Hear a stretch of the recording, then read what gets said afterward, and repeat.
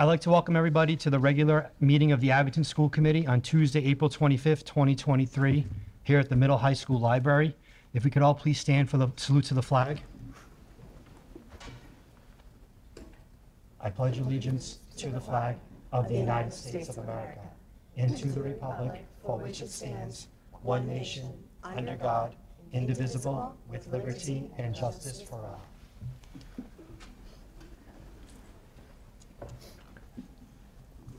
Um, Before, before we start the hearing of visitors, I know there's going to be people here to talk about school safety, and I know the police chief is here tonight.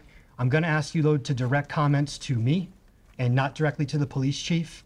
Um, If at any point we want to ask him a question, it's fine, but ask it directed through me, and then we'll go to the police chief if we need it. Okay? So with that, if anybody would like to speak during the hearing of visitors, um, please raise your hand, and you'll have to state your name and address at the podium. Go ahead.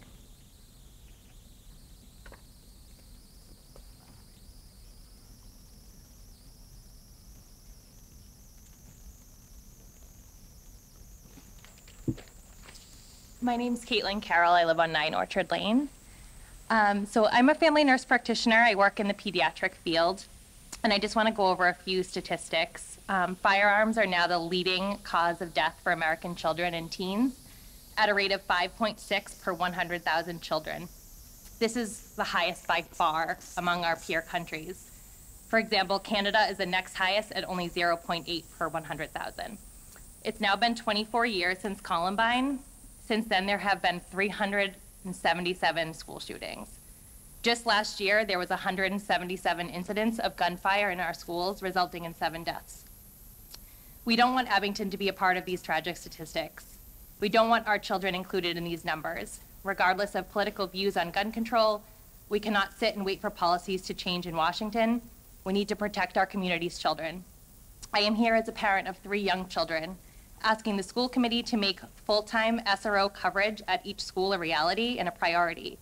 Our community is fortunate to have two school resource officers, but we have three schools, and our SROs are not always at the schools. They can be pulled by the APD, and they're not replaced during vacation, sick days, trainings, etc. After the Nashville shooting, I was super distraught, like most parents. Um, I was able to speak to Peter, and he and I was really encouraged after our conversation to know that the topic of safety in schools is not being forgotten. The schools do such a great job with ALICE drills. They do biweekly meetings to discuss students who might be struggling. There are rules in place to keep the doors locked. There are cameras in the schools that the Abington Police can view. All of these tools are in place if, God forbid, a shooting ever happened. But I think our priority and focus needs to change on deterring, sorry, deterring a shooter from ever attempting. A SRO at each school doesn't only represent protection by an armed, ready to immediately respond officer, but even more so as a deterrence from an event ever being attempted. We know that the latest school shooting in Nashville, the shooter conducted a surveillance of the building before carrying out the massacre. We know, and we know there was no police officer present at the school. Obviously, we can't make assumptions, but it would be interesting to see what would have happened if a police car was out front and an armed police officer was inside. We know that budget and competing priorities are a major concern. However, I feel like we can work together creatively to make this happen. Our kids and our teachers deserve to feel safe at school. Thank you.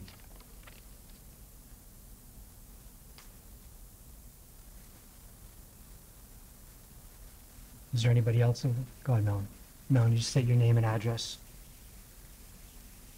Hi, I'm Melanie Whitney, 70 Logan Loganberry Drive. Um, there's been a lot of chatter about school safety, and I think um, a lot of people have different differing views on various aspects. And I heard a couple questions that came to me on my thoughts, um, and I just wanted to pass them along to the committee and to the extent applicable to our police chief to just get their thoughts. The first question, um, and I can just leave this up here in case anyone wants to refer to my questions if that's easier. Um, how do we as a school and a police department think about and address cultural or personal experience spectrums with our uniformed officers? What I'm getting at there is someone who may have trauma in their past, how they would feel about a uniform officer, and how do our SROs interact with students with a history of trauma or may have negative history with law enforcement? That's question one. Question two is, can you briefly explain ongoing trainings for SROs? Um, I don't know the answers to any of these questions, and I think the community is curious. So although Me personally, I don't have these questions. I think it's worth it for us to address to the community so that it's very clear as to these two topics. That's all. I'll leave this up here in case anyone Okay. wants it.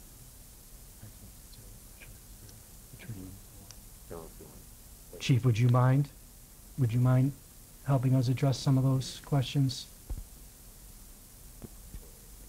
Um, just Police Chief David Del Papa, Abington Police Department. Good evening.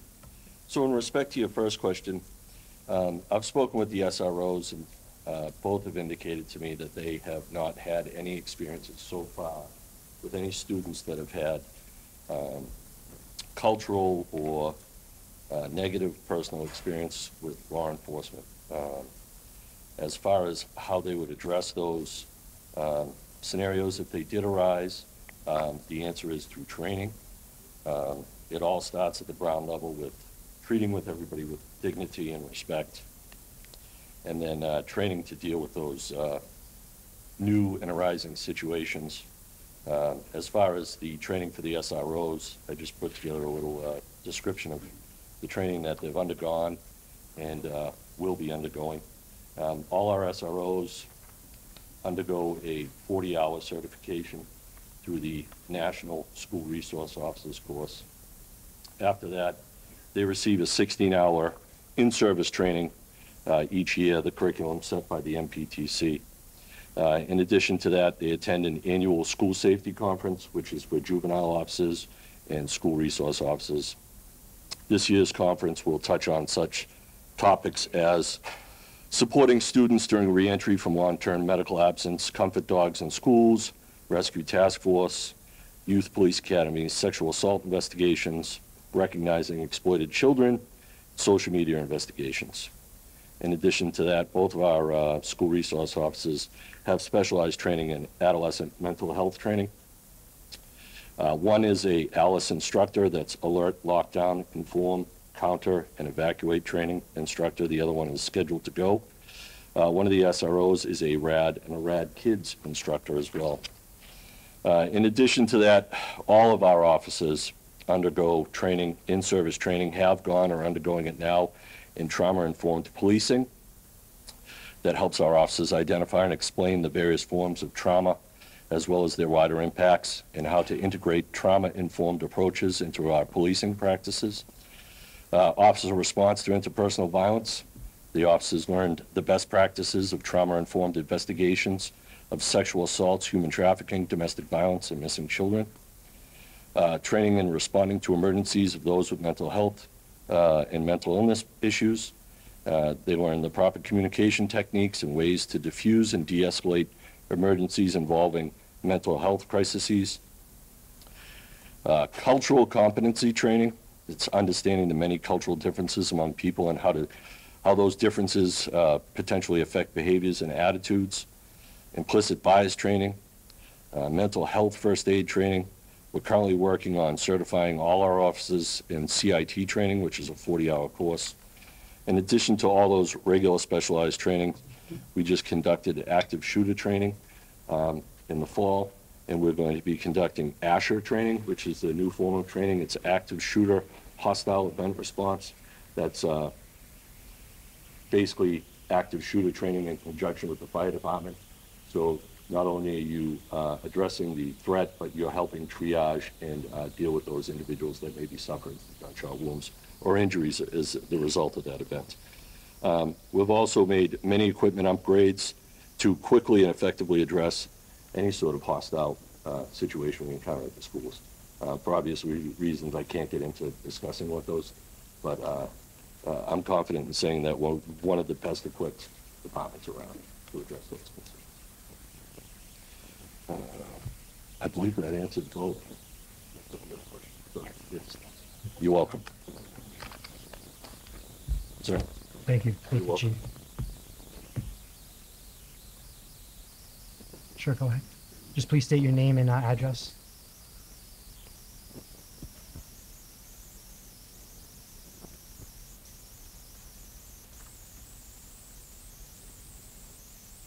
Hello, my name is Lindsay Young, and I live at 47 Mulberry Drive.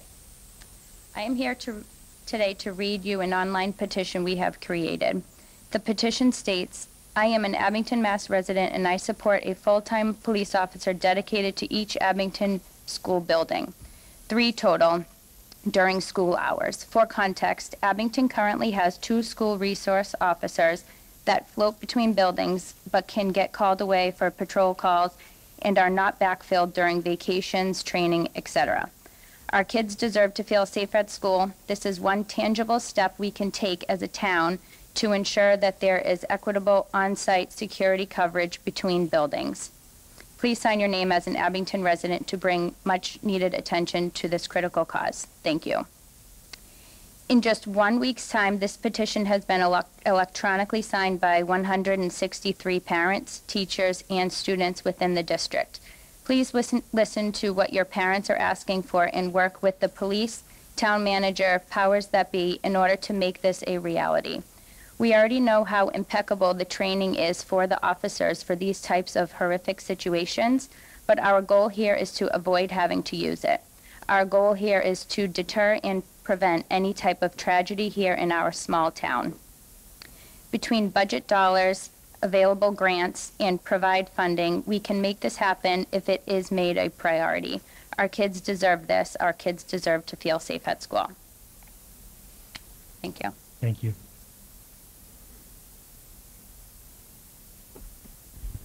Please state your name and address.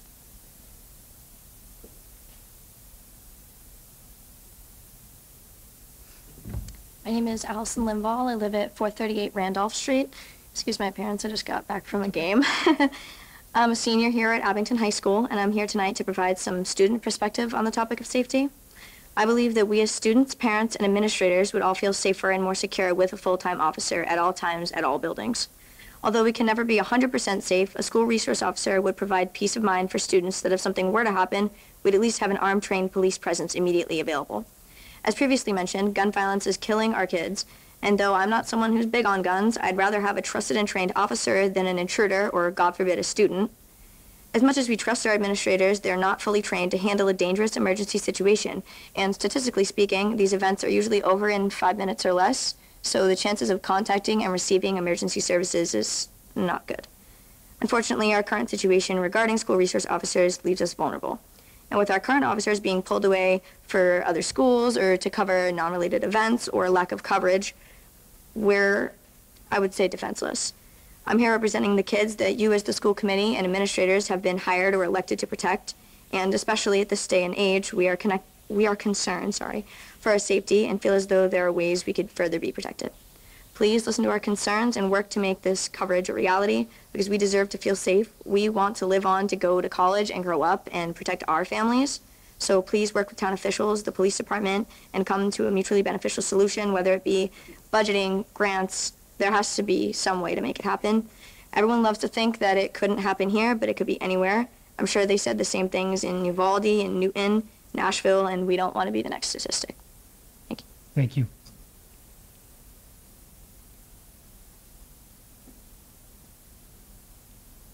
Is there anybody else that would like to speak?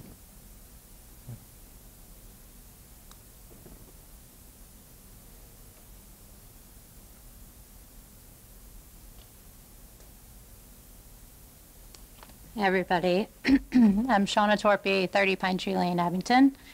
Um, many of you know me. I am a resident. Um, I'm also a mom of four. And some of you may remember I spoke um, last year at the school committee meeting uh, last June, voicing my concerns about school safety in light of the Uvalde tragedy. I just couldn't get the image of blood-stained green Converse out of my head. Um, and we're here almost a year later, and I still can't get that image out of my head. And there's been X amount more school shootings since then.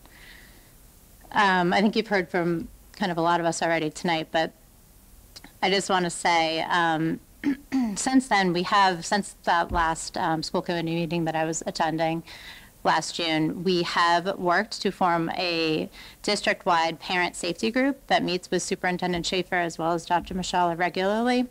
The group's mission is to work alongside the administration to ensure the District of Abington students and staff are protected to the best of our ability while attending school. Our goals center around impro- improving coverage, personnel coverage, mainly SRO coverage, uh, building infrastructure and equipment, policies and training, and screening at-risk kids, which we're doing a wonderful job at. While we've made progress at the margins this year, including organizing a safety inspection between the administration and the Abington Police and Fire Departments, and exploring ways to enhance our entryways at Beaverbrook and Woodsdale Elementary Schools, we seem to be hitting constant roadblocks stemming mainly from budgetary concerns to make meaningful progress. I'm here tonight to make the school committee and the members of the public aware that this group exists, and we're here to hopefully help enlist all of your help for change. In my opinion, nothing is more important than the safety of our children. It is one thing to say this, as I think all of us in this room will agree to that. It's quite another to act on it by devoting tangible budgetary dollars to make this a reality. Please give this topic the attention it deserves and support our group with our improvement efforts. I am first and foremost here to ask the school committee to work with us to increase our SRO coverage to one full-time officer at each school building. I was told by one administrator that she sees police coverage more, more on a weekly basis or an as-needed basis than on a daily basis. Well, I hope to God that the shooter doesn't decide to act during, say, 85, 90% of the time that they're not there, when every literal second matters. An unnamed teacher was quoted saying, I rarely see officers at school due to their busy schedules. In all honesty, I know that if something were to ever happen at my school, I just have to deal with it on my own. This is our current reality, but I, leave, I believe we as a town can do better than this. Let's start by making full-time officer coverage at each building a top priority. I urge the school committee and administration to help us make this happen. Thank you. Thank you.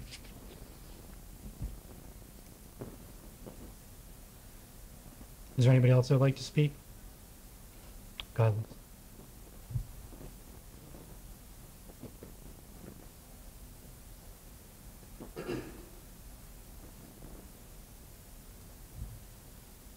Hi, Lisa Brown, 64 Nash Memorial Road. Um, I didn't actually plan to speak tonight, but this is just such a emotional and distressing topic for everyone. Um, I really appreciate everyone who's gotten up to speak about it um, already. I think it's also just important to to think about and focus on all the different things within our control for student safety and also you know that includes physical safety and psychological safety and um, you know i don't have any comments tonight about the the sro discussion. I appreciate everyone's viewpoint and i'm still kind of learning about all the different pieces of that. But i just would love to also hear a discussion about what we're doing continue to do for mental health in our schools with the students and also supports for families in our community. Um, because it you know certainly you know somewhere at the root cause of some of these issues um, are mental health issues so i just would love to continue to hear a discussion i know we talked about um, the new care program a couple of months ago i think but um, you know would love to just continue to hear that as part of this conversation as well thank you Thank you.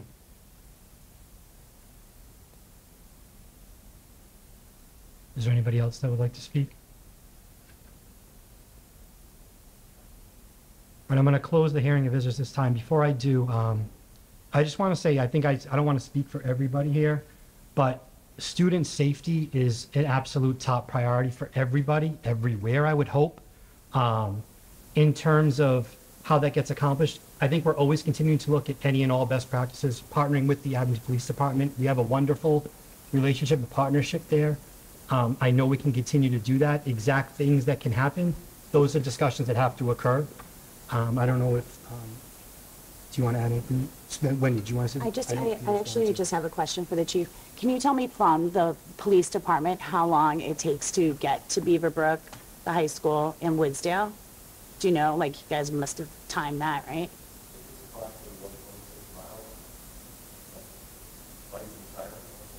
Less than a minute.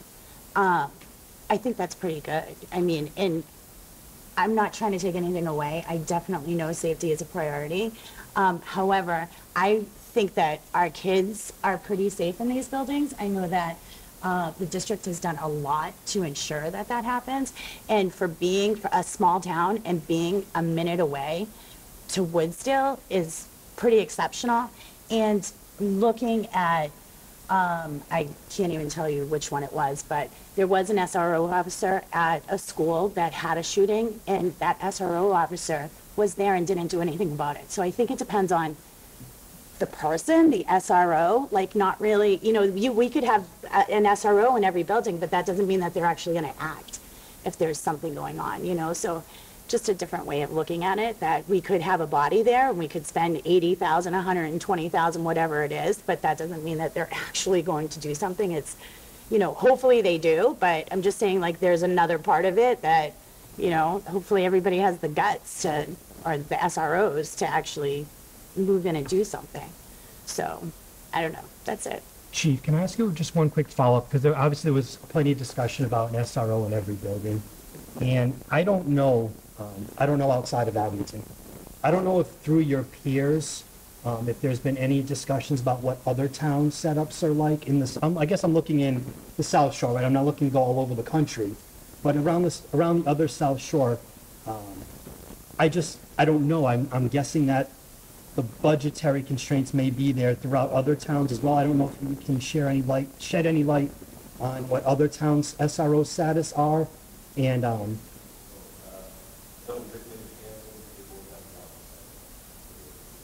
okay. Okay.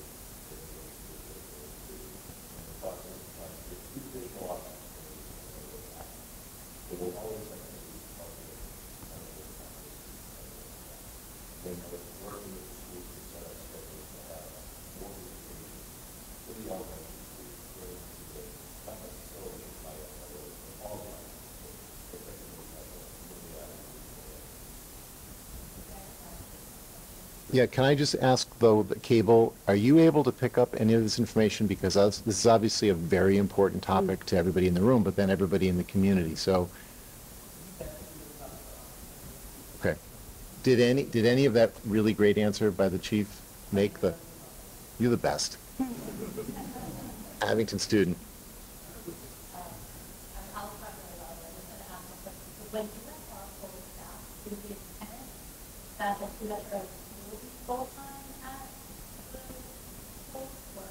Intention will, they, they will go back to their original assignments, which is Monday through Friday assigned to the school because of the, because of the staffing shortages we had, we had no other choice. We had to utilize them. Yeah. That, ultimately, that is the goal. And so when, based on your projections, when? I'm hoping within the next year. Hopeful. But I don't want to promise anything I can't deliver. Okay. Okay, thank you. You will? So if I could, just for a moment, um, Dr. Michella has a presentation about safety and about 20 different things that we do that's going to completely miss the mark for this group. Because none of those things include adding a school resource officer to what we already have. Um, And I don't think anybody would, would disagree that statistically speaking, you'd be better off with an armed, trained uh, officer at each building. And if that were something that Abington could do, I don't think anybody, would- I don't, you know, you may get some objections in the community, but I don't think there would be many. I, I think we'd accept that um, with a lot of, you know, a lot of gratefulness that we've got that uh, with, in our system.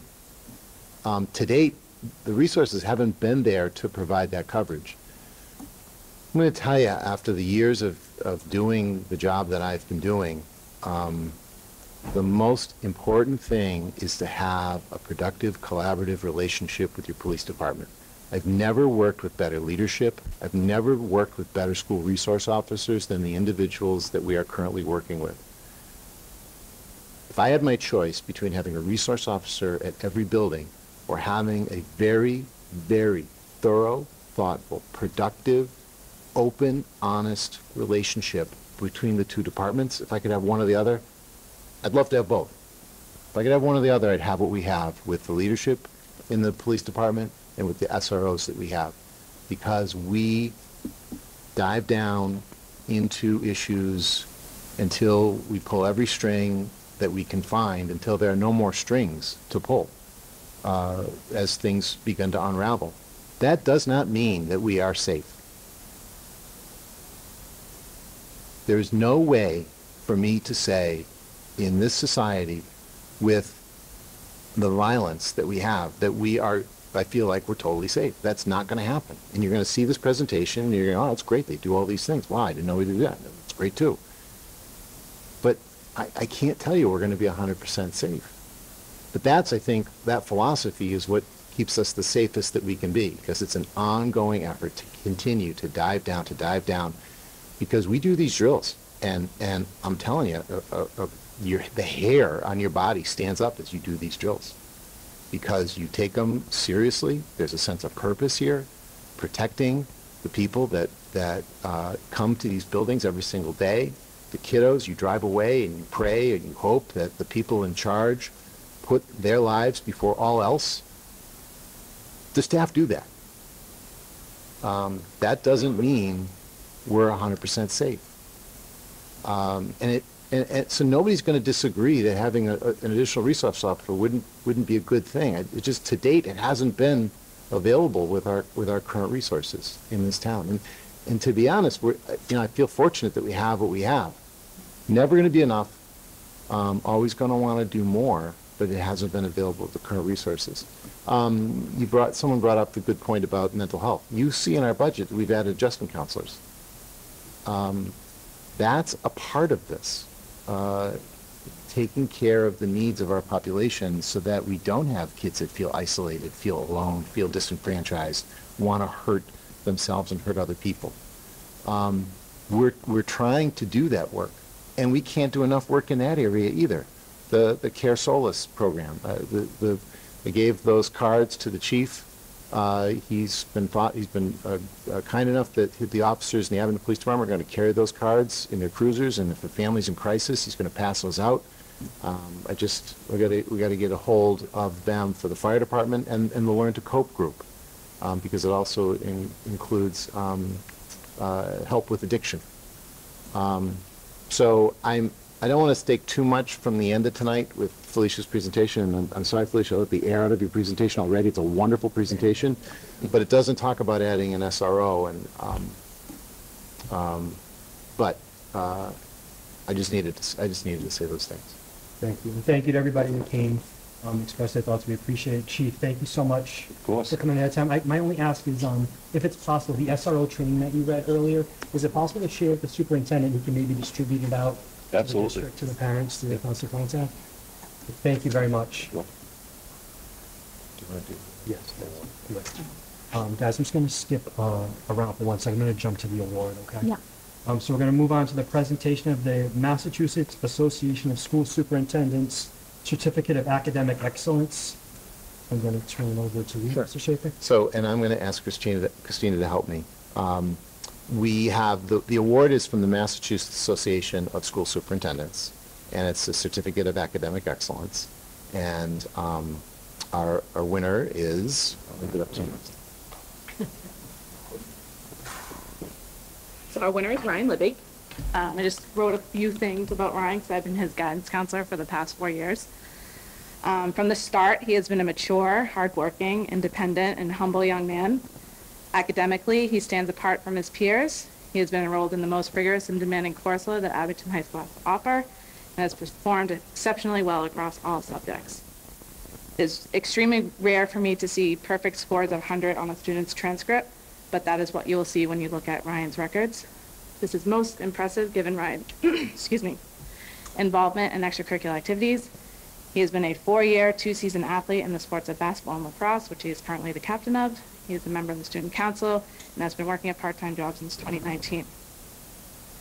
Ryan's hard work and dedication to his STEM classes in particular has earned him numerous awards, including the Rensselaer Medal, which recognizes students who have um, distinguished themselves in math and science. Ryan plans to pursue a career in mechanical engineering at UMass Amherst, which you just told me about, so that's really exciting. Um, and I cannot think of a more perfect fit for him. It is an honor uh, to present the Mass Certificate of Academic Excellence to the valedictorian of the class of 2023, Ryan Lilly.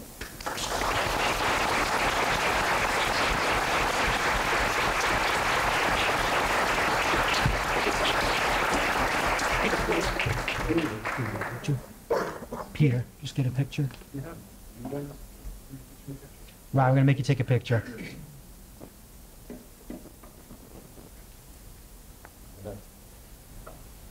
You have your parents come in? Well, you want, I'll take it so you can be in it. I I can take it and then.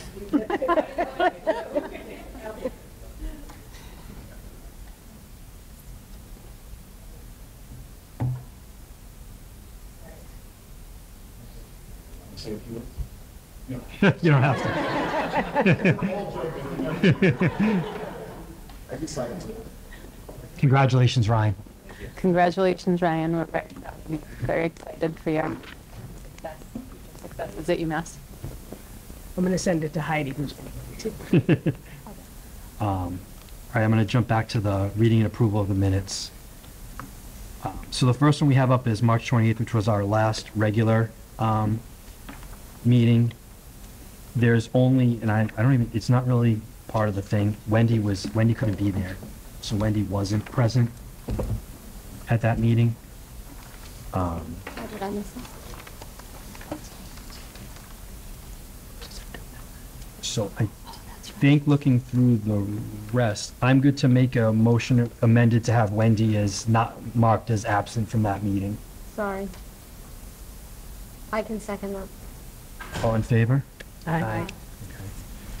Um, And then next up, we're going to do them separately, are our two executive sessions for um, discussion of the new parameters of a superintendent contract. The first one is February 28th. Uh, We're going to do, them so we'll do them separately, so if anyone make a motion to approve the February 28th executive session, I'll make a motion. Well, second. all in favor? Aye. And then March 22nd, which was done virtually, is the last one. I can make a motion. I'll second. All in favor? Aye. Okay, thank you guys very much.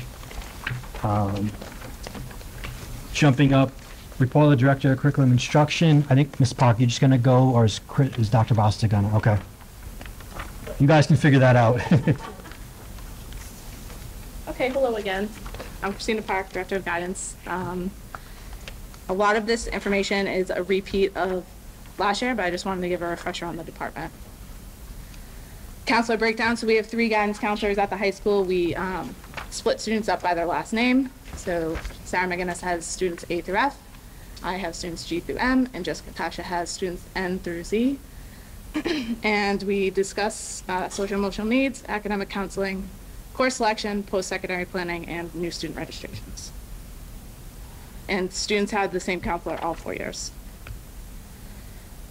Um, every year we do group lessons with our classes. So for grade nine, we do an orientation to high school, which goes over the graduation requirements, GPA, academic eligibility, attendance policy, and clubs and activities. Grade 10 is an introduction to our Naviance program, which is a college and career readiness program.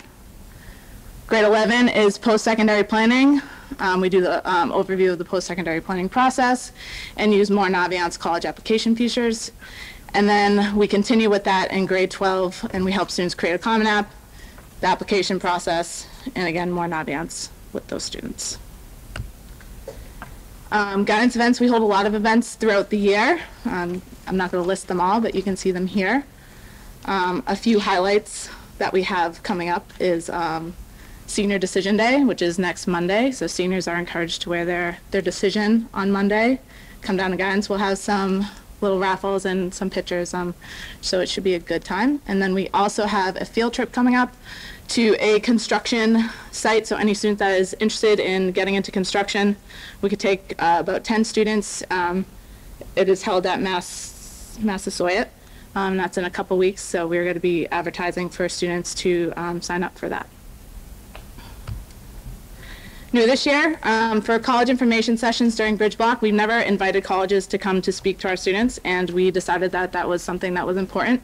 Um, so we had four colleges come um, and speak during Bridge Block, and it was Bridgewater State, UMass Dartmouth, Bryant, and UMass Boston. Hopefully, next year we'll secure more colleges um, to come and speak to our students just to talk about their um, application process because every college has different requirements. So it's nice to hear from a range of schools. Um, we also developed the monthly guidance newsletter, which hopefully some of you have seen, um, just showcasing all of the events that um, guidance has to offer. And we put up a TV screen in the guidance department, which also um, shows all the events so that the students are more aware um, of what's going on. Um, we partnered with Care Solace with the help of the adjustment counselors, administration, the school psychologist, um, to just help our students and families get more access to mental health support. And we developed the Mass Hire Partnership, um, which is a really great um, opportunity for our students that allows um, just those career-based field trips. We did a STEM career field trip to Bridgewater State um, back in March. We just did a career day conference. Um, and again, we have that construction day coming up. So um, just exposing our students to more careers um, and getting them, you know, more thinking about what they want to do after high school. Strengths, um, we have an experienced staff. Um, all of us have been doing it for more than uh, 10 plus years. Um, so we've been doing this for a long time. Um, we have an ongoing commitment to social and emotional well-being and the academic success of all students. Um, we collaborate amongst all stakeholders, and we are very strong with technology and communication. Um, these are the areas of growth that I presented last year. So um, we wanted to increase student knowledge on the variety of post-secondary options available to them, and I feel like the Mass um, Hire Partnership has is the start of exposing students to, to different types of careers and educational opportunities. Um, we have increased the information sessions during Bridge Block um, by adding those colleges to come in, but we also increased our group sessions with our juniors um, to, from one session to two sessions. We do one with the juniors in January and in June. Um, continue to provide resources uh, to students through multiple modalities because we found that a lot of students don't technically read their emails all the time. So we wanted to make sure that um, we were giving them all the information in so many different ways. So um, with the monthly newsletter, the TV screening guidance, we have the Canvas page. We've been doing the assemblies. Um, we did a scholarship assembly a couple weeks ago, and we've had, I think we made a record in terms of students actually passing in the town scholarship application, which um, we had student, 80 students pass in this year, which is great. Um, and then again, to continue education on local mental health resources available to our students. Again, we partnered with Care and then um, Dr. Robbins helped secure a PD from John Crocker, who is the director of the Massachusetts School Mental Health Consortium, which was really helpful for our staff things that we hope to look forward to in the coming year. Um, again, I think it's just always going to be our goal to increase our student knowledge on post-secondary options available to them. Um, and again, to be continued to be educated on local mental health resources um, for our students. And then the last bullet is something new that I want to work on is to promote summer enrichment options for students.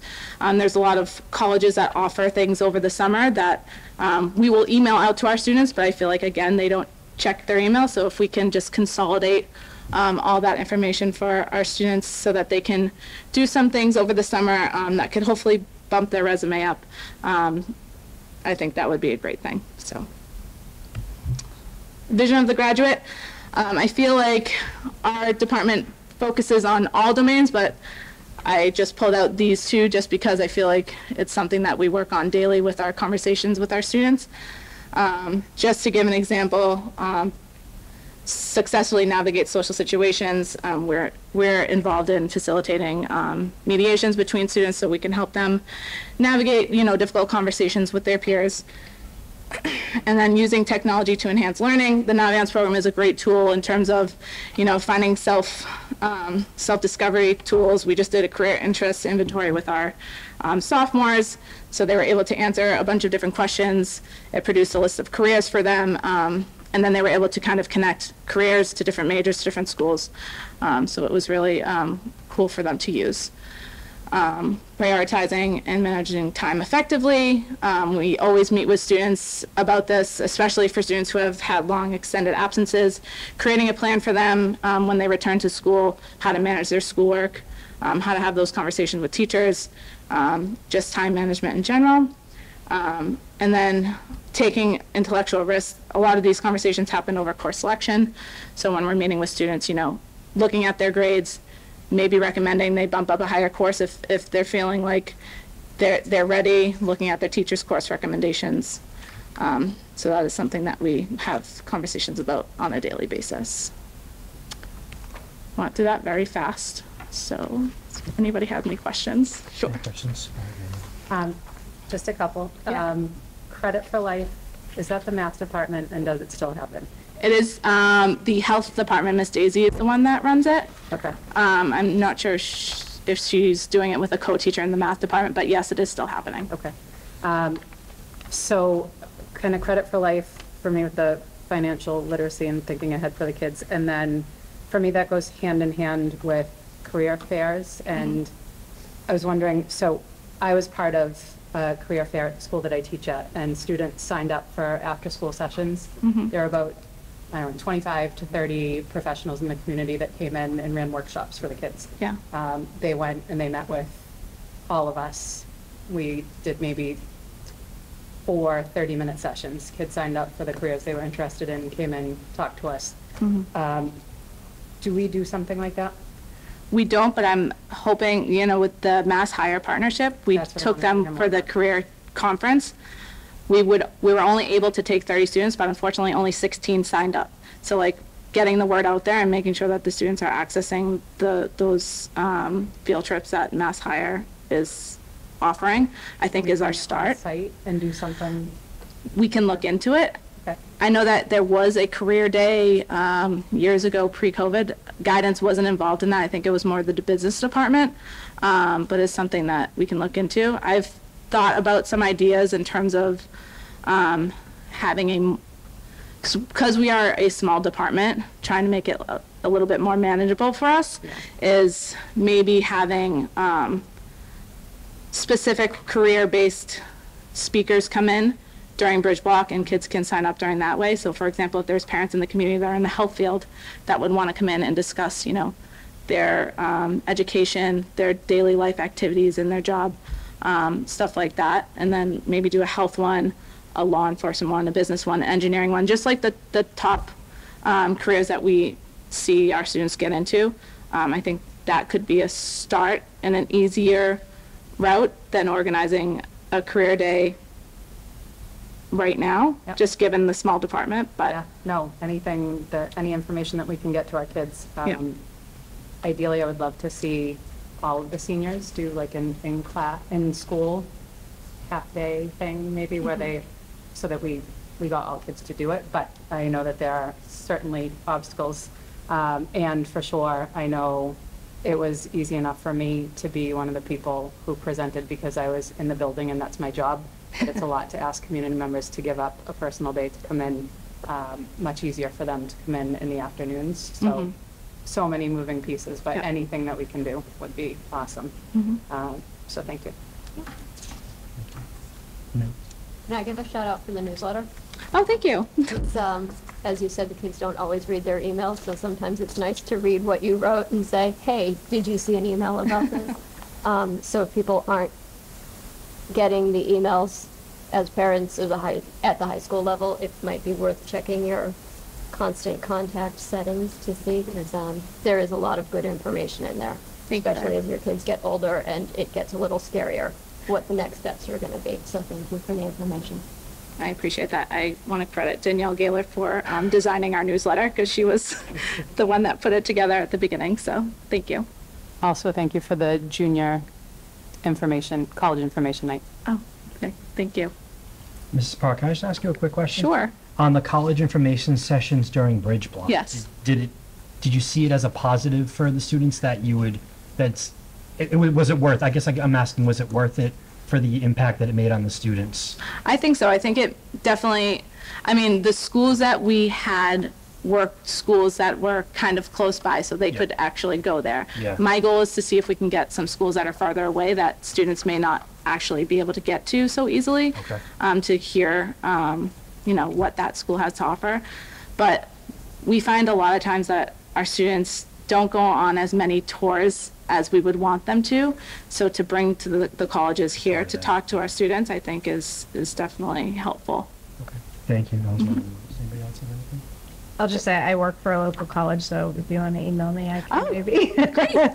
They would love to come and Amazing. Talk to your students. Yes, absolutely.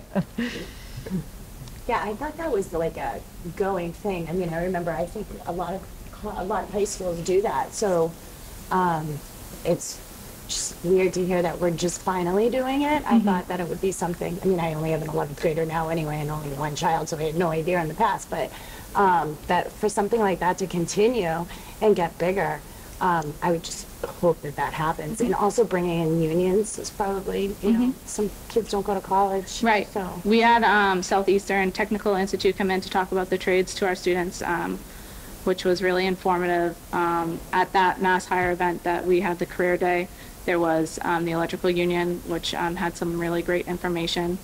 Um, So yeah, I, I agree. I, we have always brought our students to a college fair in the fall.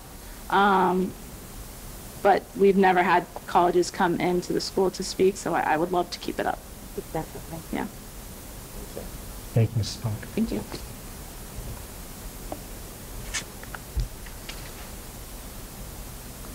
Chris, you want to just go ahead? Um, The next up, uh, English Language uh, Learners Department update. Um, didn't say her name wrong. Mrs. Dupree, am I saying that right? Dupre, okay.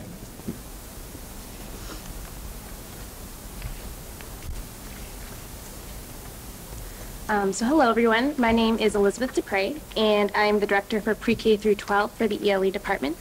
And today I'm going to talk about the strengths of our department as well as our areas of growth. Um, so before I get into our strengths and areas of growth, I want to give you a brief overview of our EL population in Abington. Um, currently, ELs make up about 12% of our total student population. And as you can see from our graph, over the last 10 years, our EL population has been consistently and rapidly increasing. Former English learners are students who have exited the ESL program but are closely monitored by ESL teachers for four years.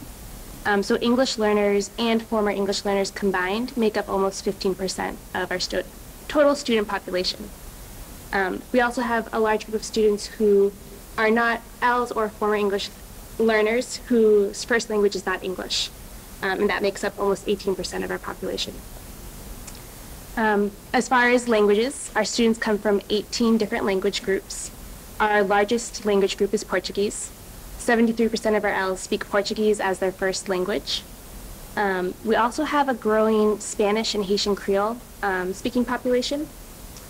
Um, and then another thing to note is over um, this past year, we've had uh, over 30% of our English learners um, be in their first year in U.S. schools. Um, last year, James presented on our areas of growth. So just an update on that. Um, in order to accommodate all of our growth, we've added staff. Um, so we've added a 1.0 ELE teacher at Beaverbrook, a 0.4 teacher at Woodsdale, a 0.6 teacher at Abington Middle School. And that's made a huge um, difference in our department. We've also purchased the REACH curriculum for Woodsdale School. So now Beaverbrook and Woodsdale have the same curriculum. So there's a continuity between grades K through 4. Um, and also now that K through 4 has the same curriculum series, um, we are working towards writing curriculum at the elementary school grade level. And we're making sure that our curriculum is aligned with the 2020 WIDA standards, as well as vertically aligned within our department and laterally aligned within the grade level. So students are learning language skills that will help them in the classroom. Um, so some of our strengths, we have an amazing team of ELE teachers. Um, our teachers are culturally proficient and they follow an asset-based approach to language learning. Um, an asset-based approach is the idea that we build off students' strengths rather than focusing on their um, deficits. So for example, we view our students not as students who are, have um, a deficit in English, but students who are emerging bilinguals. And they come with um, linguistical and cultural assets that are strengths that we can build upon. Um, we also offer a lot of student programming. Um, we offer ELE tutoring, uh, the ELE summer program. Uh, last year we had about 30 students attend that program. And this year we have a Language Buddies Club at the middle school that pairs newcomers with students who are either native speakers or have been here for many years. Um, and then at the high school, there's a Brazilian Students Club that just formed. Um, our department is also really focusing on family engagement. Um, this past year, our LPAC, we've been meeting about once a month, and we've had up to 40 parents attend our LPAC meetings. Um, we have, and I think here's a picture of one of our LPAC meetings here. Um, so parents are able to come to school, ask questions about, um, you know, various questions, how to check student grades, questions that maybe they're not comfortable to speak in other circumstances. Um, we also offer other events to bring families into the school, such as the ESL Family Breakfast, ESL Family Night. Um, we had a coffee and literacy event. Um, we've had two technology workshops, and these workshops coincided with when grades were released at the elementary school level. Um, so we were able to show parents how to check student grades and also contact te the teachers if there was any concerns about their grades. Um, and finally, for the third year in a row, we were able to offer adult ESL classes. And our adult ESL classes were funded through the Abington Cultural Council. Um, this past year, we had 30 parents who consistently came. Um, so moving on to areas of growth. Um, our, we have a huge focus on decreasing the EL dropout rates at the high school level, as well as closing the achievement gap for ELs across the district. Um, some things that we're doing to help combat that are making sure that our support teams are consistently discussing students who are high risk of dropping out. Um, some of our students who are at high risk of dropping, dropping out are students who have interrupted learning, um, students who come from backgrounds where um, their families are not financially stable, students who come to the United States on their own or with one parent. Um, we've also been working to collaborate more with other departments in order to help um, different departments support their English learners. Um, and then another um, focus that we've been working on is helping make sure that our ELs are having access to the interventions available at school. Um, our second area of growth is allowing for more common planning time between ELE teachers and content area teachers. Um, one challenge has been time. Um, our ELE teachers in the past had a very full schedule and didn't have time to meet during the common planning time of other teachers. Um, but we're working this year to carve out time so ELE teachers can work with content area teachers to help with accommodations in the classroom and also so content area teachers can better inform our ELE teachers what they are teaching in the classroom so our ELE teachers can um, focus their attention on skills that will help them access the content in class.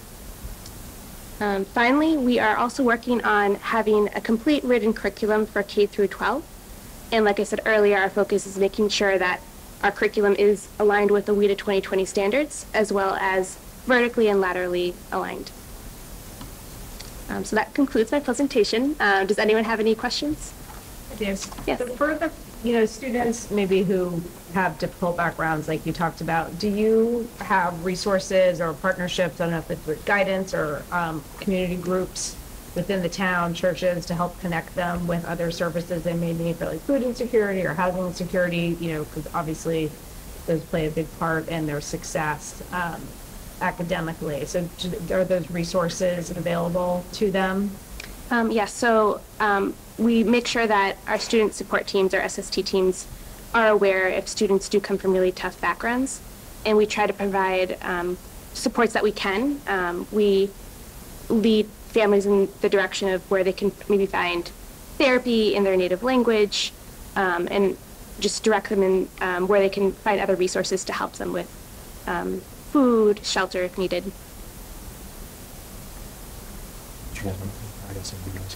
Um, Just one question. Do we um, dedicate PD time for the ELE teachers and classroom teachers to meet? Um, Do the ELE teachers get a chance to give workshops and work on strategies? So I'd love to do that more. Um, in February, um, the ELA teachers at the middle school did um, a little bit of PD during our faculty meeting, um, where we reviewed a bunch of technology tools that teachers can use. Um, we have a lot of new teachers across the district, and some of our new teachers weren't familiar with um, some of the tools that we had. Um, and then I this past um, PD, we had a speaker come to Beaverbrook, and she was out of district, but she provided um, really helpful PD for teachers on different tools they can use in their classroom to help support their English learners. It's just so important because a lot of the strategies that you'd use for our ELs are strategies that all classroom kids would benefit from. It's just really good teaching. Yes. Um, so I, I know that PD time is stretched thin, but it's so important to get some consistent time, not just that one day. So I, I don't know what we have for the next year or two, but I would Yeah. like to see more. I completely agree. Hop in Yes, there and just say that, yes, we agree, and next year, the main focus of our district-wide PD is going to be exactly what you just said, EL strategies that benefit all students. So, thank you. Thank you. Right, my turn. Um, clearly not here, um, and it doesn't have to be answered tonight, but do we have access to the statistical data on, um, the percentages of dropout rates on our EL students versus, um, our mainstream or our, our English, like, our English-speaking students, native English speakers? Um, and do we, I'd be curious to see what the statistics look like on how we're approaching that and maybe some of the reasons why, like what ages are we losing these kids, what else can we find? So do we have that data right now? And if not, can we get it? Um, sure. You want to answer? Well, I was going to say that I don't have the numbers off the top of my head. Right. Um, but EL students do drop out at a significantly higher rate than um, native English speakers. And I don't know if you want to add. Yeah, to that. just that the data that's available um, from DESE is a year or so old, right? So So we're keeping So- our data from DESE right now and not, do we have in-house data, just out of curiosity? we do. Okay. We do. It's easier for us to access what DESE's already pulled together, and then we can compare ourselves to um, other similar districts in the state. Sure. Um, And, but even our internal data, right, is 2022. I would just, I would So be it's interested to see. Coming off of COVID, so our, our dropout rate went up for everyone. For everyone. Especially for our EL students. Um, So yes, we can, we can get you that. Because part of what I am curious, thinking long-term, is if we know that there is already a disparity, um, and piggybacking on the idea of having this commitment to these strategies for our ELs, as well as all learners, um, will we be able to use this to try and minimize the gap, and are we going to follow along with that data as we do this? And thank you for being able to understand what I'm very inarticulately No. trying to throw out of my mouth right now. You did a great job. Oh. And I can add to that, that our um, Student Opportunity Act funding, our SOA Yes. funding, a lot of that um, is based on our English learner population numbers um, increasing. And part of our proposal from 2020, 2020, on how we were going to use that funding was exactly to address the achievement gap and dropout rates. So that's something that we're constantly adjusting and working on and reporting back to DESE. And that report is available online as soon as DESE uploads this one this year. Clearly, whatever we can do to retain our students, we want to be able to do, but at the same time, um, having been privileged enough to work with a lot of our students this year, um, and particularly one EL class in, in particular that I can think of. These kids are risk takers. They are fearless. They are fabulous. And that speaks volumes not just to them and their families, but also to the professionals working with them, that they are just in it full on to learn and to just try it all. So there are things that are going really, really well. And I just love it if on the opposite end of that, we can try and bring that energy up to our oldest students as well so that lifelong learning becomes their target as well. So, thanks. Yes, I love So, um, during the pandemic, I think, um, it's commonly held that, you know, there was a disproportionate amount of, uh, um, difficulties depending on different population groups, what population group you are in. So our, our students who are English learners, um, you know, there was, there were travel difficulties during that time. There were also uh, difficulties finding work uh, during that time, during families. And so there was a, there was a jump in uh, the dropout rate during COVID. We know that. Um, And the reason we compare ourselves to uh, Massachusetts for that is just, and I've said this before, we want to do better than everybody else. And we use that um, Massachusetts information just to help us benchmark, because all things being equal, all communities faced the same struggles as Abington did. We weren't the only ones who had to, you know, shoulder the pandemic. So you will see a jump during COVID. And as Chris said, our numbers are, are dated. We've got to, you know, we've got to continue to update them and track it. But um, those are the populations that the ESSER money and the Student Opportunity Act money are for. And, you know, you know, because you've been here through all this, that's where we've been putting a lot of emphasis in terms of um, the appropriate use of those dollars, so. I just wanted to add, I, more call out some things that I noticed in there, and, um, great job, by the way.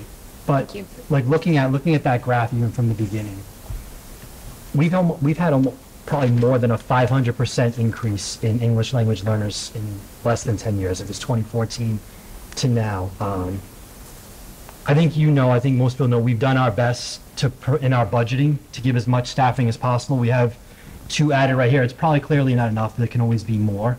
I mean, I think we know that. But I do just want to, um, some of the programs, I, I more just want to give you kudos, honestly. Um, so the Language Buddies Club, I love that idea. Um, I think could be used in other areas. Um, Dr. Robbins potentially Special Ed Buddies Club. Um, and the active engagement, um, I've been to some SEPAC meetings before, so I just want to say 40 parents attending the LPAC meetings. That's incredible. And I know some of the nights we've left here, the ESL, the adult ESL classes have actually been going on. I think that's an unbelievable thing you're doing for the families, and I know the grant is helping provide that, but I think it's unbelievable that we're trying to do the best we can for those that need it, for those that need the supports the most. So that was all I wanted to add. Thank you. Supporting our families are definitely supporting our students. Thank you very much. I appreciate it.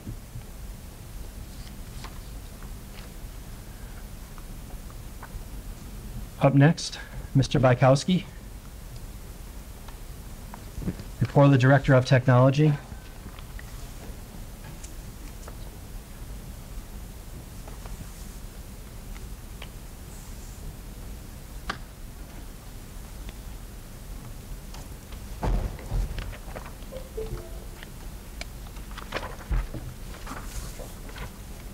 Going to be so ironic if yours is the one that goes wrong. All right, thanks, uh, thanks to the committee to uh, give me a little bit of time to talk about the Abington Public Schools Technology Department. Um, I just wanted to outline to start, uh, the Technology Department in Abington has four members, myself, uh, Oliver Critchlow and Reese Papineau are our computer and network technicians. Their positions involve a lot of the day-to-day uh, fixing student computers and, you know, going into classrooms and sorting out projector issues, repairing screens, anything that might come up on a daily basis, uh, the things that they generally take care of.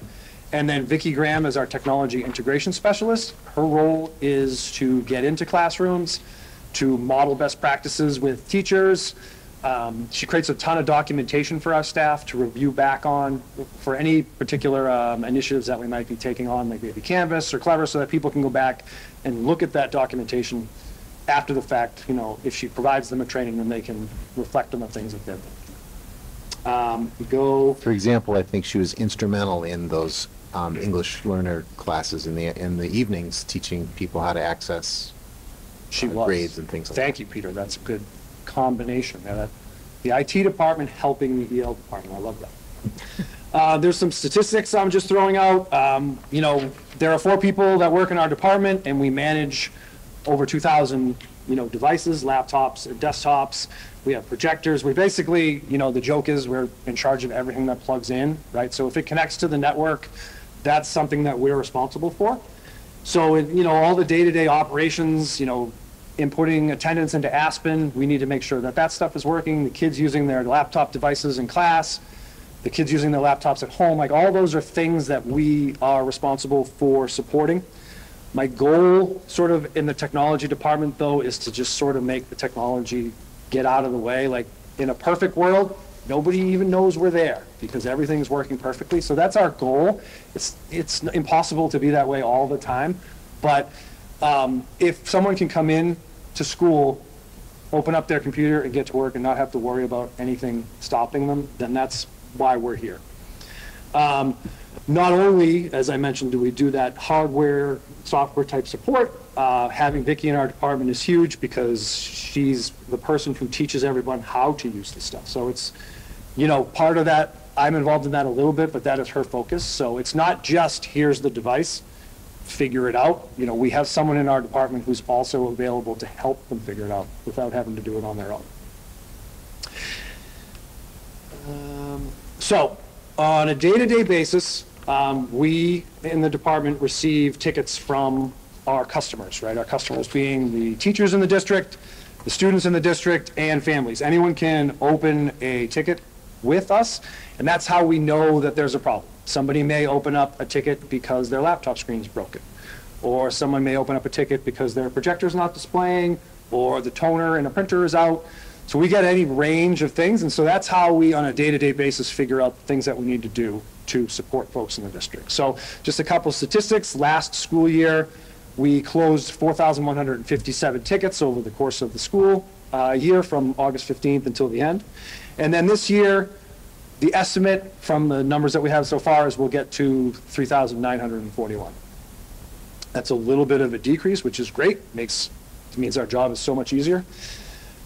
But uh, reasons that that might happen, because that's usually not the trend. In the time that I've been at Abington, the trend has been the amount of tickets have gone up and up as we've added more technology. But uh, two of the things that I wanted to point out was uh, the help from the staff in the library. Tricia London, Sheila Manzi, and this year Caroline Ellis has been doing her student teaching in the library and helping as well. If you're not aware, when a student has an issue with their device in the high school or the middle school, if they can't resolve it in the classroom with the teacher, they bring the device to the library. And in the library, they do an initial triage of what the problem might be, and uh, sometimes they help them, and the student can go right back to class. And if they can't help them, what they do is provide them with a loaner, and then that device comes to our department so we can resolve the problem. I looked this morning around 9 o'clock, and the library staff had seen, uh, had had 1,042 specific events of a kid coming in looking for help. So that's between, you know, that's from the start of the year until this morning at nine. So it could be an issue simply that they need to restart the computer, and the librarians may help them with that. It could be an issue where they lost a file, and they may sort that out. And so some of those issues don't make it all the way to us, and that's a huge help, obviously. Without them, um, I don't, you know, we'd have far more tickets, and I'm not sure we'd be able to provide the support around the district that we're able to. The other thing that we added this school year that's new is uh, if a student does damage their device, whether it's an accident or maybe it's not so much of an accident, we do uh, send a letter home to parents now to let them know. What we found in the past, we've had a one-to-one, kids have been receiving computers for, I think it's six or seven years now. So we're adjusting things as we go. And what we started to see last year a little bit more than we liked was sort of a repeat customer issue where someone might have a broken screen, and then a month later, they're coming back with a whole bunch of missing keys. And so we thought it would be best to maybe involve the families as well, just to let them know what is happening. In the past, we'd fix the issue, and the kid would get the computer back, and and, and who knows what would happen between then. So we've added that. I don't have any statistics that say that that's helped, but it is a difference between last year and this year, so it may have had an impact on maybe some of that repeat customer business that we were having before. Okay, a few projects that we have uh, worked on this past year um, through funding, well, this is an ongoing one, but through funding that's been approved at town meeting for the past couple of years, we receive money to purchase new laptop devices for our fifth graders and our ninth graders. So all of our fifth graders to ninth graders get a computer that they can take home with a bag and with earbuds. And so now, with that funding, it becomes a sustainable situation. You don't have a computer for eight years, you have it for four years, which is a reasonable amount of time, I think, for our students. So when the kids come to fifth grade, the first day of school, those devices are waiting in their uh, classroom for them. Uh, The kids keep them for the four years. They take them home for the summer. Um, They take them home every night. And then when they get to ninth grade, uh, I've been working with the administration in the high school, and this year what we did was the day after Labor Day, the freshmen got their computer, because they, they will have had their computer from eighth grade over the summer coming into ninth grade, and so they received theirs very quickly at the beginning of the year, but it's easier than the first day, because they have to give the other one back, right? Um, We are working on replacing staff laptops. We aren't doing that uh, in mass, like we do with the students, but with some school funding, we're, uh, we're dealing with that. This year, we opened up the Aspen Parent Portal. Um, In the past, families would have to log in to Aspen as their students to find their student information, which they could do when the information is there. But if you happen to have six children, that's sort of inconvenient because you'd have to log in and then log out and log in and log out, right? So now families can log in with one account and see all their students in one place, uh, K through 12, which is obviously a much easier user experience. And one thing that I'm excited about for this summer is uh, an update to our emergency calling system. I'm sure everyone's familiar with hearing Peter say there's a snow day. No snow days this year. But um, that system has got a major update, and some of the benefits of that are the ability to use that same system to send phone calls, emails, and text messages. So I know that a lot of people prefer text messages. Maybe you don't want to get woken up by Peter at five in the morning. I don't know why you wouldn't, but now there'll be other options. And um, there's translation built into those things, so, you know, we can reach the folks who may not understand what Peter's saying because English is not their first language, using that, you know, one single system. So, other things that the IT department is responsible for, uh, cybersecurity. Not everyone's favorite topic, but um, the district applied for a cybersecurity grant with the state, and that grant, we, we were awarded that grant amongst other school districts and towns in Massachusetts, and that grant provides our staff with online training on cybersecurity, so they can learn about recognizing phishing attempts, they can understand why you shouldn't let people come in the building behind you, um, things like that, so we can get a better um, baseline cybersecurity posture for everybody. Uh, It's important that everybody can recognize those things. There are other school districts around us that have had issues with being hacked, and it often comes in through an email that seems innocuous and has some sort of link on it that uh, someone might click on. So the more training we can do with that, the better.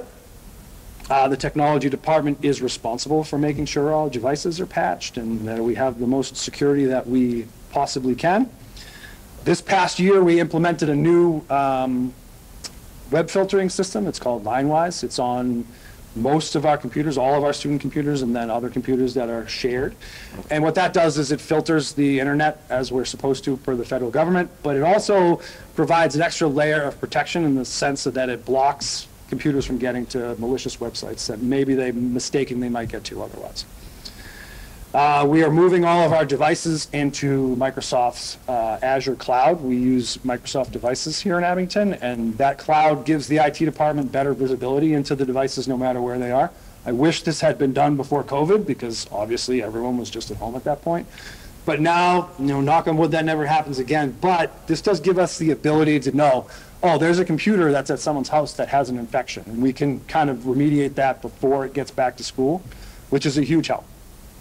And this year, we added a process of uh, physically removing backups from the school. We have a number of backups. We have backups in the cloud, we have backups in the server room here in the building, but we also now take our backups off-site. So in the event that something catastrophic like a fire in the server room, again, hopefully never something like that would happen, but if it did, our critical systems are backed up off-site and we can recover from something like that if it did happen physical security, which has been a kind of a theme tonight. So we've worked, we work with the maintenance department a lot on this and with town funding that we received uh, in 2021. That's when we extended our camera and electronic locking systems outside of this building to the other two buildings, the elementary schools. So we added a number of cameras at both Beaverbrook and Woodsdale. We added electronic locks. Those locks the electronic locks give you opportunities to know who's coming and going, and you don't have to give out keys if a key gets lost, then you have to rekey like an entire building, right? Well, with a fob, you can turn those on and off as, as people come and go, or if someone loses it. It's much easier to manage than um, a a key, and handing out keys to everyone. And this past year, this year, excuse me, um, we applied for another grant with the state um, in order to add additional cameras to both of those schools. So we, I think we did a good job with the monies that we had of coverage, but you can always add more. So we applied to see if we can get some more money to add additional cameras. And the reason that we all come to school, curriculum, instruction, and special education, we work with those departments as well. Um, There's a couple of examples here, worked with Dr. Robbins, worked with Dr. Basta. You know, we, it's not necessarily our, our day-to-day responsibility, but um, one of the things that I do think is important is that we can use technology to make sure that education is accessible for all of our students, you know, whatever their supports might be, whether it's, um, you know, needing something, needing their device to read aloud or having their device in a different language. You know, technology can help bridge that gap. Um, and so we want to be a part of that, and I think, um, you know, we work with those other departments to make sure that that's the thing. We, we look out and, you know, we try and find new products that may be helpful, you know, for the special ed department, and, you know, we can run it by them. We're not the subject matter experts necessarily, although Vicki is a teacher, so she does have that experience. But, you know, our technology side of things, I think, meshes well with the other departments in the district, so that we can help build that technology competency and make sure that our students are supported in that way. And that is my last slide.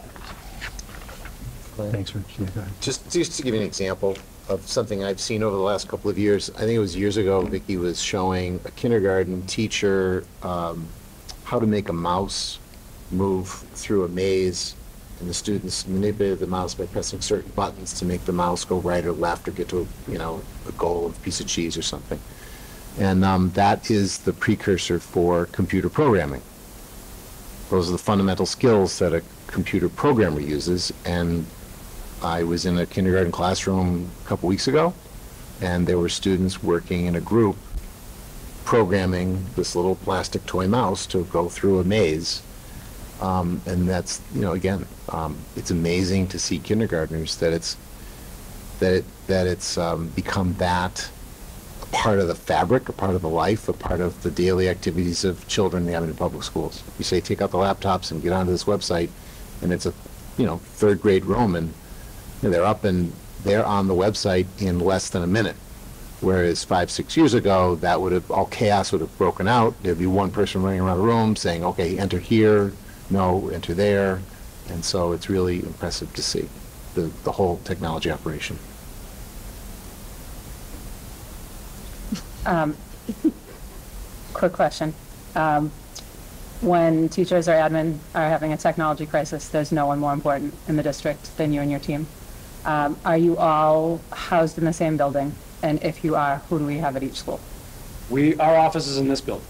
Um, It's in the back of the building, it's sort of hidden, don't necessarily re- uh, reveal our location, but, um, but yeah, we're at this building, but Abington's pretty small, so, you know, we can obviously, we're not as fast as the police, but we can get to, uh, we can get to where we need to be fairly quickly. It's like if I'm having a crisis in my classroom and I really, really, really need to do my lesson, and I need you. I there- I would say there's- somewhere else? very rare that you don't get the help that you need. Okay, good. Go. Um, I just wanted to say, I appreciate that you guys are, um, now giving laptops, um, you know, in the elementary school and then tran- when they transition to the high school, um, because that's huge. Um, that didn't happen before, so. I guess I yeah. didn't mention either, you know, something else that, because once we get computers back from seniors and, and from eighth graders, coming ninth graders, we can filter those down to the elementary schools as well. So at Woodsdale, every classroom has a computer for a kid. Like, eh, there's a card of 30 in there, so there's actually enough for the kid plus extras. So all the way from really third grade up to 12, if the kids have a device, that's sort of assigned to them. They just don't go home. Mhm. Perfect. Um, and I just wanted to ask you, you had said that, um, you, like, a flag would come up, basically, um, if a student was at home, you know, using the Azure for Microsoft? Yeah, that's, that's mostly based on um, if they had some sort of malicious software on their computer. Um, We would, we can, we can tell that before maybe they bring it into school and affect some of it. So, um, can you tell like what websites they're using and everything too, or just, We can tell what websites they're using with the other product that I mentioned, like Linewize product that does the web filtering. We could tell what websites they're listing there, because we have to block certain categories per the Right. government, like uh, pornography, for example, so that system does track what they're doing. and do you guys keep like a data list of what kids are? Uh, There's a list in that system. I don't review it. Um, It is, it has been provided to the middle school and high school office, so in the event that they have an issue, they could go in and review it. It's not something that's regularly, but it is definitely stored, Okay, the students' web behavior. awesome, thank you. And, um, do you have a, a written information security plan? We do not. Okay. It needs to, it needs to be created, but it is not. Okay. Um, so is, is it, are you supposed to have one though? There's no rule that says Okay. you need to have one. There's a number of them we should have. We should have an incident um, response, like if they- if something went crazy, we should have an information security one based on maybe privacy. So there's a number of policies that we should have, but there's no requirement that anyone in the school has one. It would just be something that would be beneficial for us. So it's something that I have in my head, but it's I'm often just trying to find time to do it. Right. And if you do do it, um, I would just recommend like all the teachers and staff getting a copy and signing off on it that they've read it. Um, and if you need any help with that, I can send you some info. Okay. Thank you. Rich, I just want, like, you mentioned it too, but I just want to reiterate, um, regarding the town, the town meeting and the funding, like, thank you to the town, because obviously without, technology isn't going anywhere, right? It's not gonna, not gonna get less technologically advanced as we move along, so we do need to replace these laptops, and the money that they provide is in the budget, helps us to continue to do that. Um, you mentioned the EEP and the work being done in there. I just want, like, I went, about a month ago, I was in one of the special ed classrooms there, and it was incredible, the, um, the use they were able to get out of using the touch screen for some of the kids that are nonverbal, um, and being able to work with them. I just, I hadn't seen it in action before, so it was great to see, and, um, now I know how it was, um, being put about, so thanks, and. There's a big shout out to Vicky on that one too. She spent a you, lot of time in those classrooms. And I remember the first day she came back to the office and I went into the room and they were doing it without. I think she was actually So there that's- the day when, at least that's- No, I just want to say thank you. You guys have been awesome over the years, and anytime that I've had an issue or know anyone that experienced one, um, you guys are right on it. So thank you for all you do. Thank you. Thanks, Rich. Thanks, Thank Vicky. you, everyone.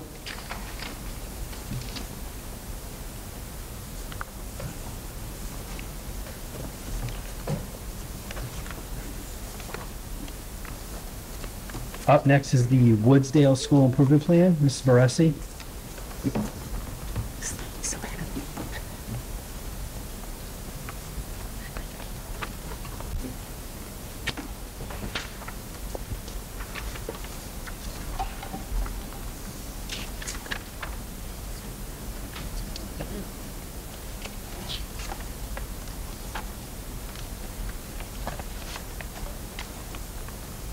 Rich left, so hopefully. Yeah, we'll hopefully figure it this out.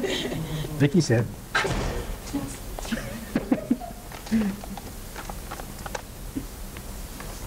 Vicky. We got that.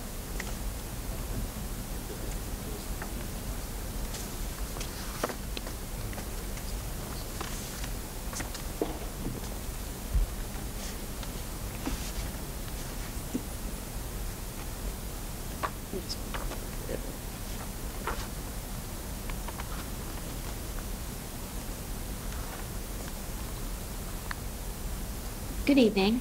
I'm Jen Baresi, the proud principal of the Woodsdale School, and I'm excited to be here tonight to share Woodsdale's school improvement plan. I was trying to think of a little clever way to connect with you to begin, and I was thinking of a funny anecdote because something hilarious happens every day at Woodsdale. And I was, I did come up with something. Um, yesterday, Stephen um, is a little third grader at Woodsdale, and on my first day there, he um, approached me at arrival like he was the mayor, reached out his hand and said, "Hi, my name is Stephen, Miss Baresi, Stephen with a PH." So I like immediately knew him, and so yesterday Stephen with the PH missed the bus, and so we were in the main office, hanging out together, waiting for his mom to come and pick him up. And so I was just, you know, chatting with him, getting the lowdown on his little sister, and we were just, you know, having a little conversation. And so the main office is usually bustling at dismissal, and then, you know, Stephen's mom was about 20 minutes out. So after about 10 minutes in, um, the main office is getting quieter and quieter and quieter. So he looks at me and he says, "So Miss B, what do you what do you do when all the kids leave?" And I said, "Well, I work." And he said, "Oh." And so then he, and he and you could see the like a little like thought flicker across his face, and he said, "Oh, so you, so that's what you do when all the kids leave? You just you work?" And I said, "Yes." And he said, "Ah, "Well, no, duh. You're the principal. Of course you work." And I said, "Yes, exactly." And so I'm thinking, as the principal of Woodsdale, I am so incredibly blessed to be in this community of learners surrounded by sweet, um, sweet, smart kids and families. And my staff is just outstanding. They stretch and push themselves each and every day to um, reach all the needs of all the kids. Um, and I would be remiss without, you know, acknowledging them tonight. And I also wanted to thank the brains behind the school improvement plan, which is my incredible school improvement council, um, Chris Coyle, um, Shauna Torpy, and Vicki Graham, our parent representatives, and then our teacher representatives, Megan Eddy and Andrea Doyen. And so um, to get started this evening, I wanted to go over um, some highlights of some wins that we've experienced eh, through this year's school improvement plan. So um, all of our goals from this year's plan and in next year's plan, the underpinnings are to ensure that our kids at Woodsdale are happy, safe, and learning. And so when we're looking at goal number one, which is grounded in teaching and learning, um, one of the highlights this year is that we successfully implemented Reading Workshop as our Tier 1 core curriculum focus for ELA. Staff received um, consistent, in-depth monthly training and coaching sessions from Jen Yeager, who's our consultant from the Teaching and Learning Alliance. Um, you would be amazed at what our kids are doing each and every day as they are reading and responding to complex texts. It's like Harvard.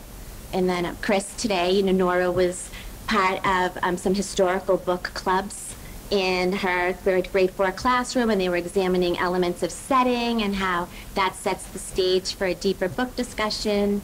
And then um, Rowan, Shauna in grade three was doing some research on sharks. So the kids are just really doing some um, amazing in-depth work as a result of reading workshop, and I'm really proud of them. Um, within our second goal with um, increasing community connections, it was super important this year as in my first year as principal to make sure that I was connecting with our community at large. So we've had some really great events at Woodsdale, including open house, parent conferences, curriculum night, and our um, grade three team host, hosted a, an MCAS information night. So those were some great opportunities to connect with students and their families. And then, um, oops, so sorry, our third goal with providing a healthy and safe learning environment. Um, social emotional learning is at the heart of everything that we do at Woodsdale.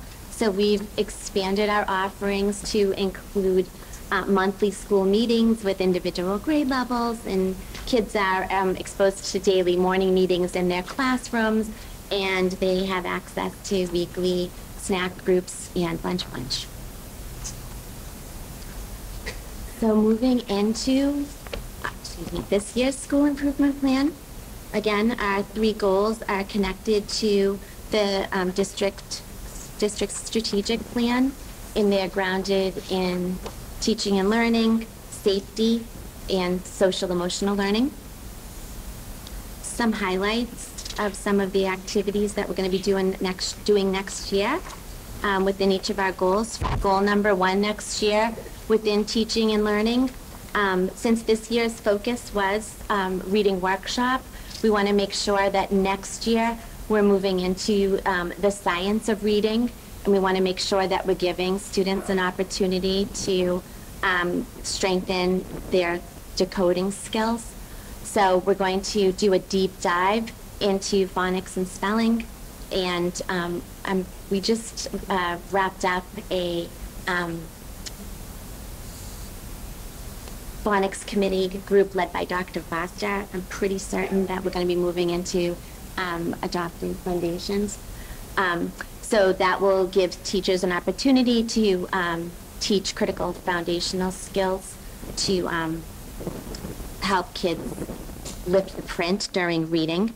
I think just like we did this year, it's going to be real important next year for teachers to have um, explicit training and coaching to make sure that they're um, understanding how to teach these foundational reading skills to kids. Um, a highlight for our um, second school improvement goal with keeping um, our kids safe. We're partnering, we're partnering with our district-wide safety team, of which um, Shauna was talking about earlier.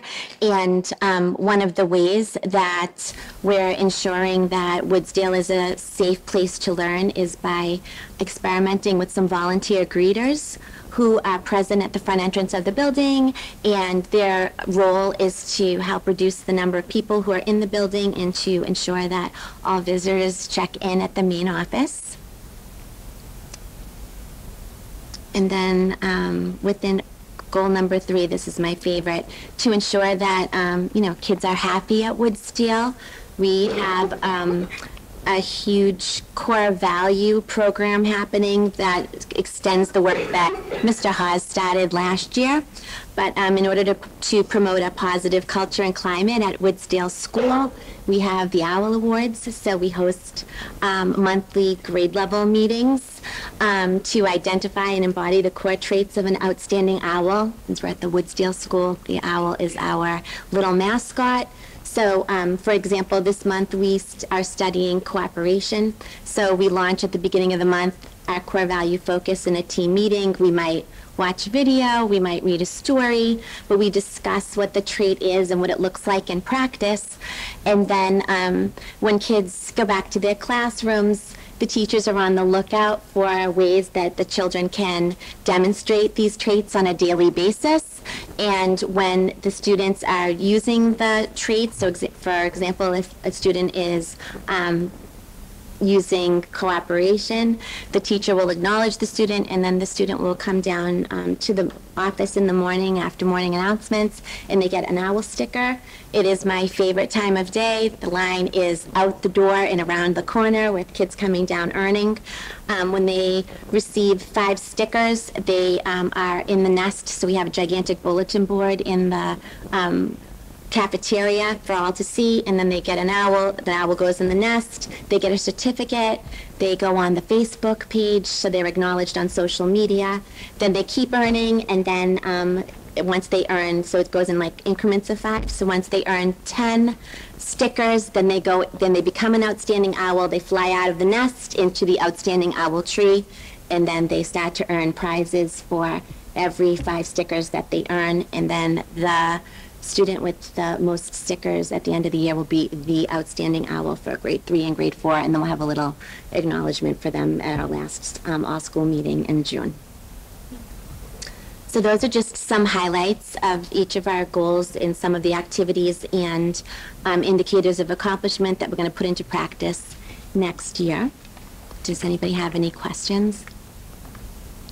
Jen, I have one. Sure. Um, first, well, I guess first of all, though, um, I'm going to offend some people probably with this one a little bit, but I love Woodsdale School. Um, this is my fourth year there. It'll be my last year having a student there.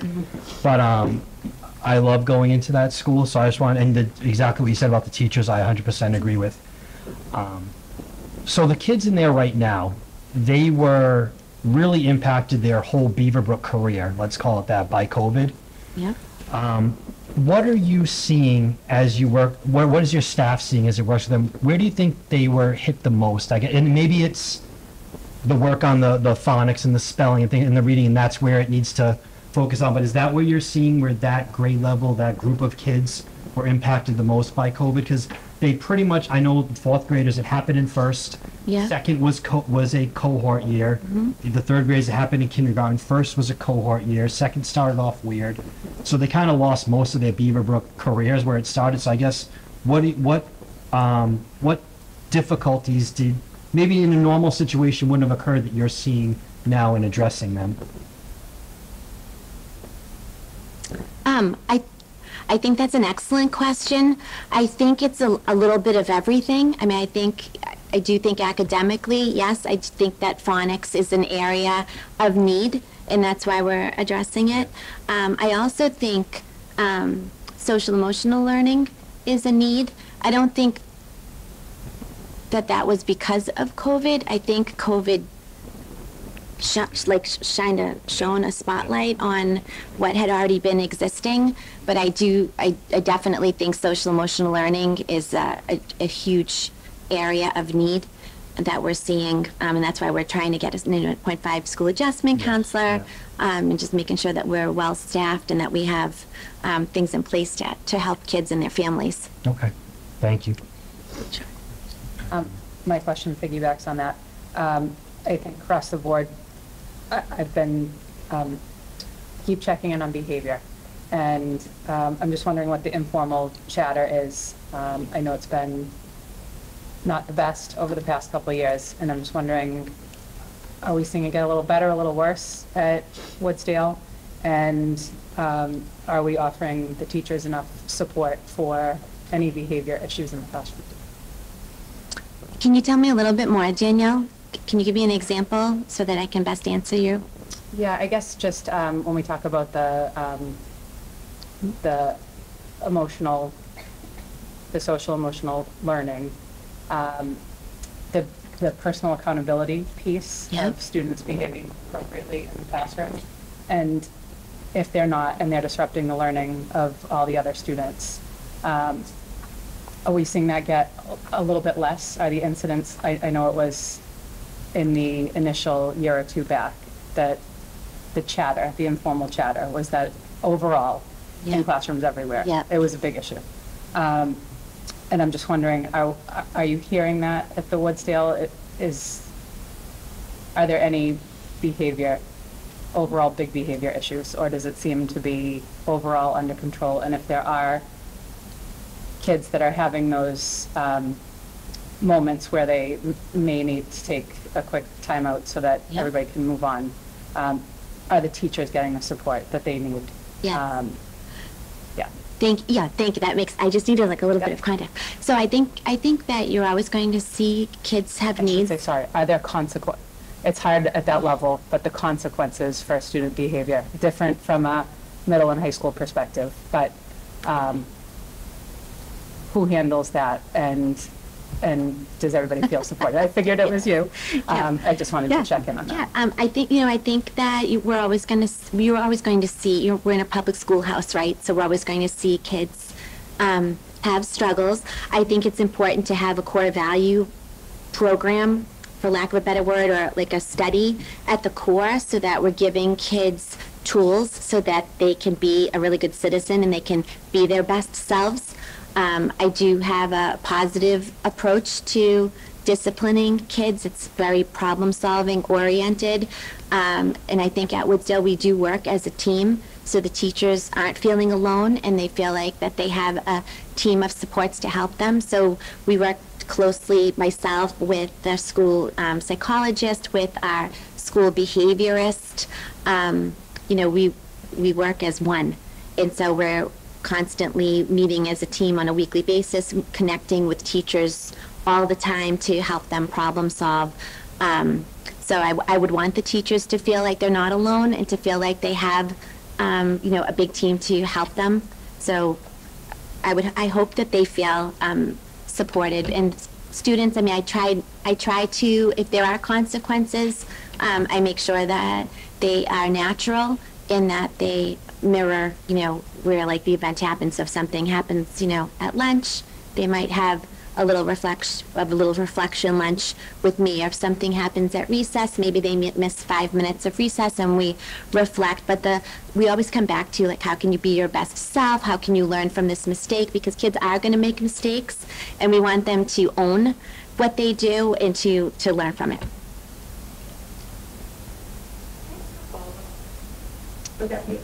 Uh, Ask it through me. So I'm wondering if, as part of support into if there are any paraprofessionals available um, to support a student, for example, a student um, are there consistent people in the building to provide that extra support that teachers need when the students have help with instruction? So basically consistent powers, like, so it's a something, somebody that the student may recognize throughout the day kind of thing, like a norm, like a, different than an academic. Okay. Job is to help uh, when they are having, Okay. when they're really struggling with the class, to the living in the problem. Yeah. I'm just wondering if the teachers have that support, say, because as a teacher. Yeah, yeah. I know as a teacher, I think that's really, if it's not in the budget or if it's not provided to the teachers, it's something that's essential, not only for the students that struggle, but for the children Yeah. in the classroom. Just, no, no. I'm gonna, uh, um, Jen, I'll let you answer in a second. I'm gonna guess that it might be, I don't know if we have powers, aside from, I mean, there are children that have one-to-one powers that are assigned for, um, certain instances like that. But Ms. Baresi, you can answer, or Peter, even throughout the district. I don't know if there's specific powers that would be designated just for situations like that, right? No, not, not to handle discipline or um, uh, behavioral management. Um, I'll let you talk about how you create a team with the paraprofessionals. We've got a lot of support in classrooms, but you can always have more, but you want to explain how that team works when a student has a meltdown? Yep, if a student has, if this, if this- there is a student in need, the teacher will um, call the office, and then myself, the behaviorist, or the school psychologist will um, help to support the student. So if I'm not available, you know, it's almost like we're, we're one person, so if I'm not available, the school psychologist will jump in, or if she's not available, I'll jump in, or if the behaviorist is not, it would, sti- you know, so we all just, um, we all work together. Thank you. Anything else Go ahead, Good evening. I don't know. All right. Uh, two points. Um, three, really. Hi, thank you for being here at, wow, late. Um, so, number two, goal one, number two, um, the phonics in the spelling program. Thank you for, for seeing the need for understanding, um, very direct, explicit instruction, particularly in the area of phonics and reading. It's so very necessary if we are going to create lifelong readers, learners. Um, you can hear about a reading and throw out the best theories out there, but it's not going to help you if you cannot read the job application you're trying to fill out. And so it sounds interesting to people to hear, all right, we're bringing phonics into third and fourth grade. It's always good to have and build and rebuild and hone those foundations. So I'm super glad to see that this is coming back. Um, and I'm very excited to hear what the teachers have to say as a result of having um, something that I think a lot of them have been looking forward to having back in rotation. So that's something I'm excited about. Um, as far as the um, safety uh, improvement number two, um, and this goes back to the first discussion we had, and I think to the discussion we're going to have on safety, and this is essentially to everyone in the room. Um, number one, the first word written there is, is partner. And I remember a time in a space and a place where one of the schools, their response to kind of what was happening in the world around us was basically to say, we don't want any volunteers in our school, thanks for coming. And as a parent, that just about crushed me because that partnership was what I needed. Um, it's what I wanted, it's what I craved. I was, you know, and it, there were, it, it was the most isolating feeling. Um, and to the group that sits here right now, one of the things I admire is there is a concern and a group came together and had ideas, had thoughts, had discussions, and I'm using that in the past tense, and I know it's not a past tense thing. So it's always important to have these discussions ongoing, but to know that this school and this committee and the parents are coming together to discuss things. And even as it's being discussed in the community, that is a sign of kind of a healthier community in my view, because when we're talking about it, we're acknowledging it, we're coming up with more creative ways, because we don't want to ever be complacent and be the not in my backyard people. So the fact that you are talking about allowing volunteers to kind of have a say and to think a little bit more about how we can do this creatively. You know, we are here to keep our kids safe. We're here to help our children learn. And to me, this is a fabulous goal, and I'm glad it's there. And thank you to everyone who is working calmly, creatively, and kindly together to kind of affect some change. That's that. Thank you, Adam. Mrs. Baresi, thank you very much. Thank you. Thanks. Dr. Michella, Assistant Superintendent of Schools on the school safety update. Thank you. Yep. I believe on the counter, uh, next to the camera, is a copy of, um, not the PowerPoint, but the items in the PowerPoint. If people are interested, um, you can have one of those. Um, Otherwise, I'm going to talk through some of the uh, safety and security um, items, uh, experiences that we have, I, things that we do. We've talked a lot um, already tonight um, around our SROs and the role of our SROs and the training that goes into our SROs. Um, I, I think, as has been said already, but it's important to reiterate that we are always looking for ways to improve the safety in our schools. Our schools aren't safe enough. Uh, and, and having that um, idea that our schools aren't safe enough is what is going to keep us um, striving to have our schools safer. So um, we are always looking for ways to improve. We're always looking for ways uh, to increase our security. However, tonight I would like to provide you with um, a number of items that we are doing today in our schools um, and that are ongoing. So, thank you, Dr. Bassa. The first one uh, we've talked about already is that uh, the Abington Police Department um, has assigned two police officers to the role of SRO. Um, As the chief indicated earlier, um, he plans to have additional uh, officers undergo that same training to become SROs. And, uh, and he also spoke about the ongoing training um, that the SROs um, engage in, both in um, school uh, SRO training and school policing and mental health and trauma. Um, So thank you for that. Um, In collaboration with the police department uh, and our SROs, we conduct uh, training, um, safety training and drills throughout the school year. Um, You probably, uh, I hope, had heard that the Friday before April vacation, all of our schools participated in uh, some type of ALICE or evacuation drill. And uh, depending on the school, uh, was different scenarios that uh, were practiced on that Friday. I also think that it is really important to talk about after each of those events, the time that we spend debriefing the time that we spend administrators with uh, staff, um, administrators in the police department, those of us that were observing, uh, to to talk about what we could do differently and what we should do differently.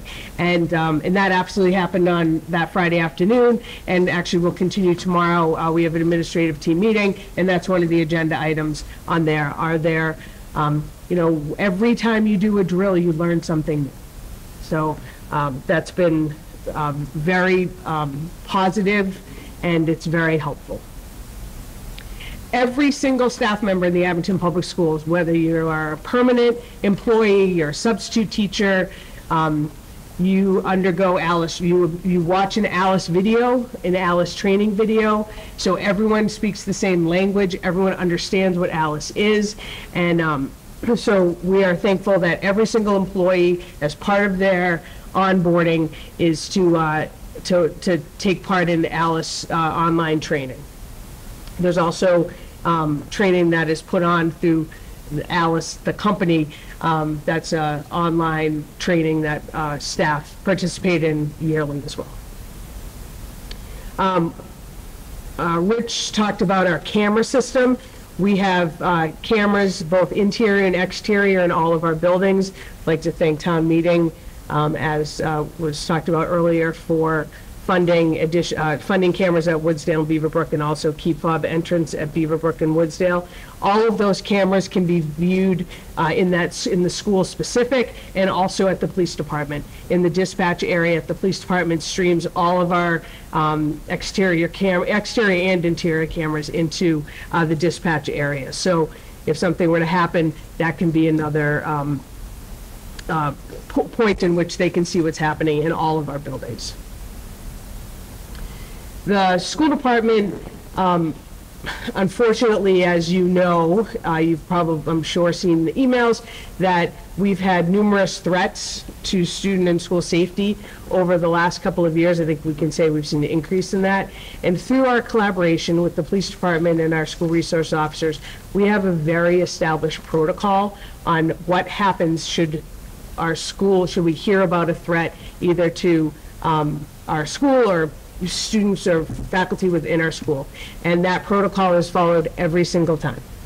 And you have seen emails that say, this morning we found out, and you're not getting the email till 5 o'clock, and that's because it took all day for both the school.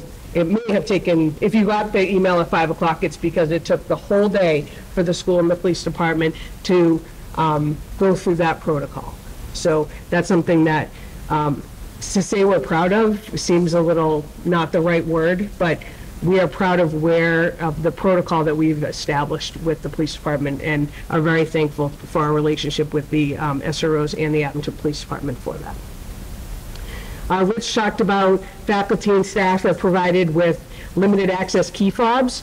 So um, you have a key fob that gets you into the building to which you're assigned. Um, not necessarily all the buildings, and it's also uh, timed. So you, um, different people have different access. Um, If you're a staff member, then you have Monday through Friday access. You wouldn't have Saturday and Sunday access. So uh, that's also helpful um, that we, and and it's recorded. We know who's coming in the building and at what time, who's leaving at what time, if we needed to, to find out that information. Um, and if a faculty or staff member leaves, then their fob, if they don't turn, uh, turn their fob in, which they're supposed to, it can get shut off, uh, which is also helpful.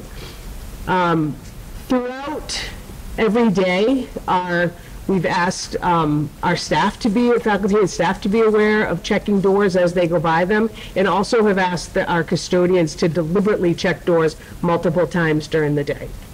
Um, I also know it's even hard for me going into a building not holding the door open for the person walking behind me.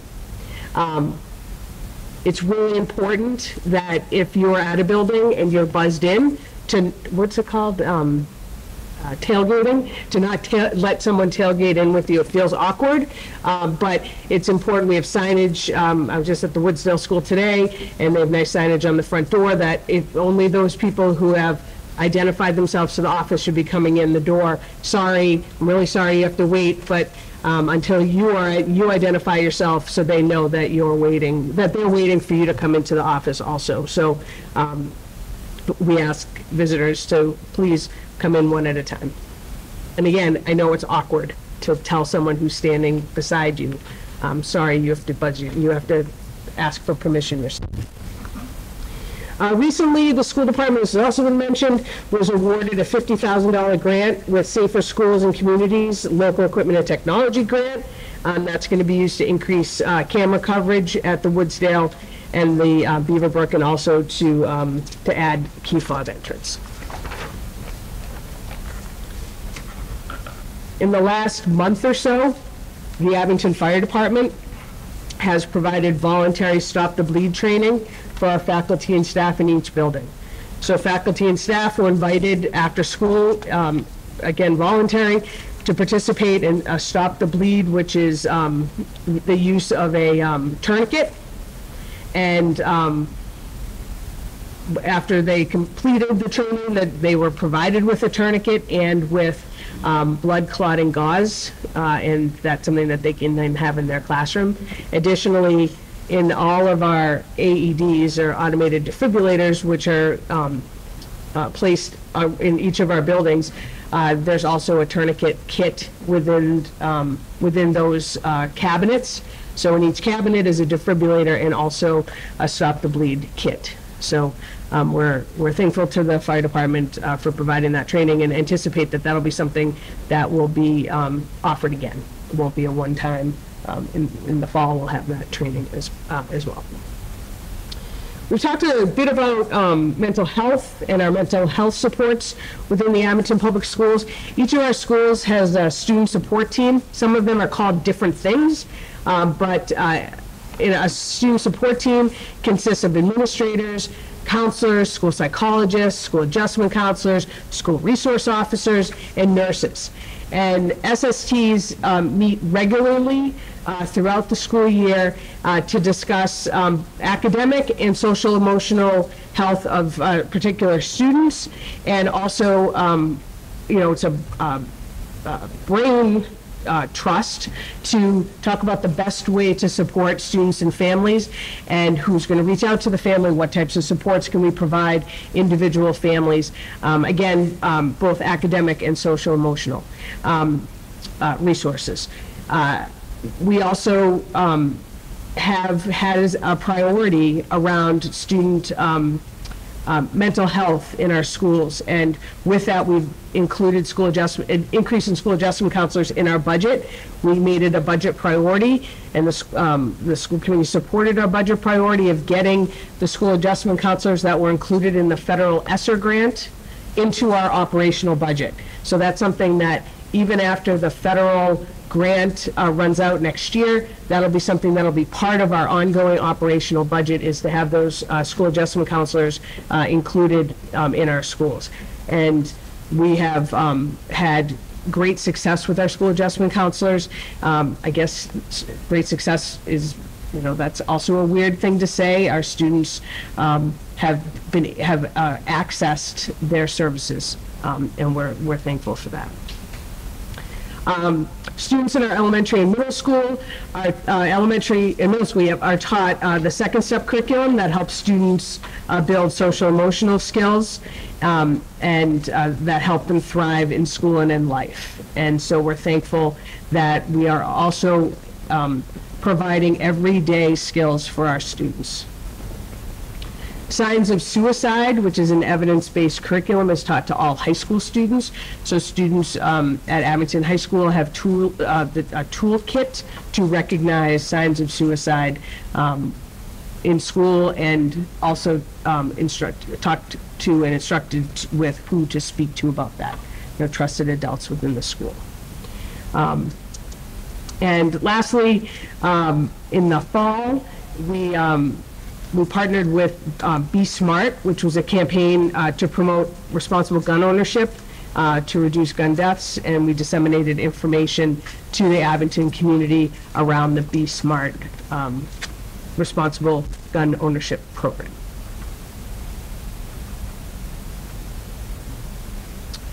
So last slide is to reiterate um, that the safety and security of our students and staff is our most important uh, priority. Um, We can never make our schools safe enough, uh, but we can continue to uh, grow and reflect and um, provide training um, and reflect on those trainings uh, so we are, um, we continue to be better. And lastly, I'd like to again thank the Abington Police Department and the Abington Fire Department for our partnership, and it really is a partnership, and we're very lucky to be in a community that the schools um, respect the police and the police respect the roles of the um, police department. Um, I can tell you, just as a, you know, I talked about um, post-Alice drills on Friday and the discussions that we had, and um, they were very, with our SROs, um, the perspective of the police department and the perspective of the school department, and um, we had a long discussion in the hallway at the Woodsdale School, and it was great. You know, things that the police department SROs hadn't thought about when they're thinking about um, school safety necessarily because they're not educators, and things that I hadn't thought about um, a different set of eyes from someone who's a police officer. I'm not a police officer. So um, I'm very thankful for the, uh, for the conversation and the communication and the, um, and the trust that we have with each other. Can I ask uh, the committee and the chair, I- the question is, um, Felicia, thank you for running through that list, but as I mentioned earlier, it's absent what I think a lot of people, you know, want to talk about adding school resource officer. Is it worth asking our chief, who's been kind enough to be here with us tonight and, and stick through this till nine o'clock with us, to describe again the possibilities for improved coverage with the existing staffing? Is it worth Chief, would you mind just hit the mic, just in case it didn't get picked up too the first time? Thank you, I appreciate it. You know how when your kids are in dance programs, they schedule your kid to perform at the first part of it and the end of it, so you have to stick through everything? And I just want to say too, I want to, Dr. Michelle, thank you for the update. Um, I know I received, a I received a bunch of emails, right, about, a- about a month ago, asking for, um, school safety to be part of the agenda. So we wanted to provide that. We wanted to provide the opportunity for, everybody- for, for parents to come and talk earlier tonight, um, and have open dialogue about. None of them can be solved right now, but I hope we've been able to give you at least that opportunity to have the discussion tonight and continue it in the, into the future anyway, so. Go ahead, Chief, thank you so much. So uh, a couple of those items that I spoke about earlier is, uh, as we onboard more uh, officers out of the police academy and improve our ranks, our goal ultimately is to get the school resource officers back into the schools full-time and not have to pull them away on shift coverage to handle calls for service. Additionally, to improve our uh, visibility and presence at the schools um, during those times where our SROs are unavailable, either due to training they have to attend or va- personal vacations or the like, uh, we're going to, we anticipate training two officers as backup SROs to fill those gaps. Um, So there aren't any vacancies in coverage at the schools. Um, And then on top of that, we're going to increase school visits, not just with the SROs, but with the other uh, officers on duty, so they can become more familiar with the layout of the school, with the staff, with the faculty, and with the students. Thank you very much, Chief. You're welcome. Appreciate your time coming here tonight. Um, Thank you so much. Of course. Of course. Tony, address it through me. Yeah, yeah, that's okay. I was just wondering if um, motion detectors are also in- included in any of this in terms of like, especially overnight, overnight surveillance, you know, if someone piggyback on a, on an event like this where, you know, and then we in somewhere, but you, Yeah. We have them. Yeah, okay. yeah. I get texts and calls all night. I just didn't- I didn't see it was explicitly so. No, but you're right. Question. Good question, thank you. Is, um, does anybody have any questions for Felicia before we move on from that?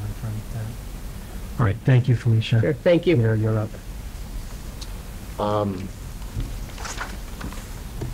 Establishment of the final day of school. I'm going to ask the committee if they would approve Wednesday, June 14th, which is a half-day for students, as our last day of school for this school year. Yes, please. I'll make a motion. Thank you, no snow. All in favor? Aye. Aye. And then uh, the school calendar for next year. This calendar that you have includes attending school on Good Friday. Okay.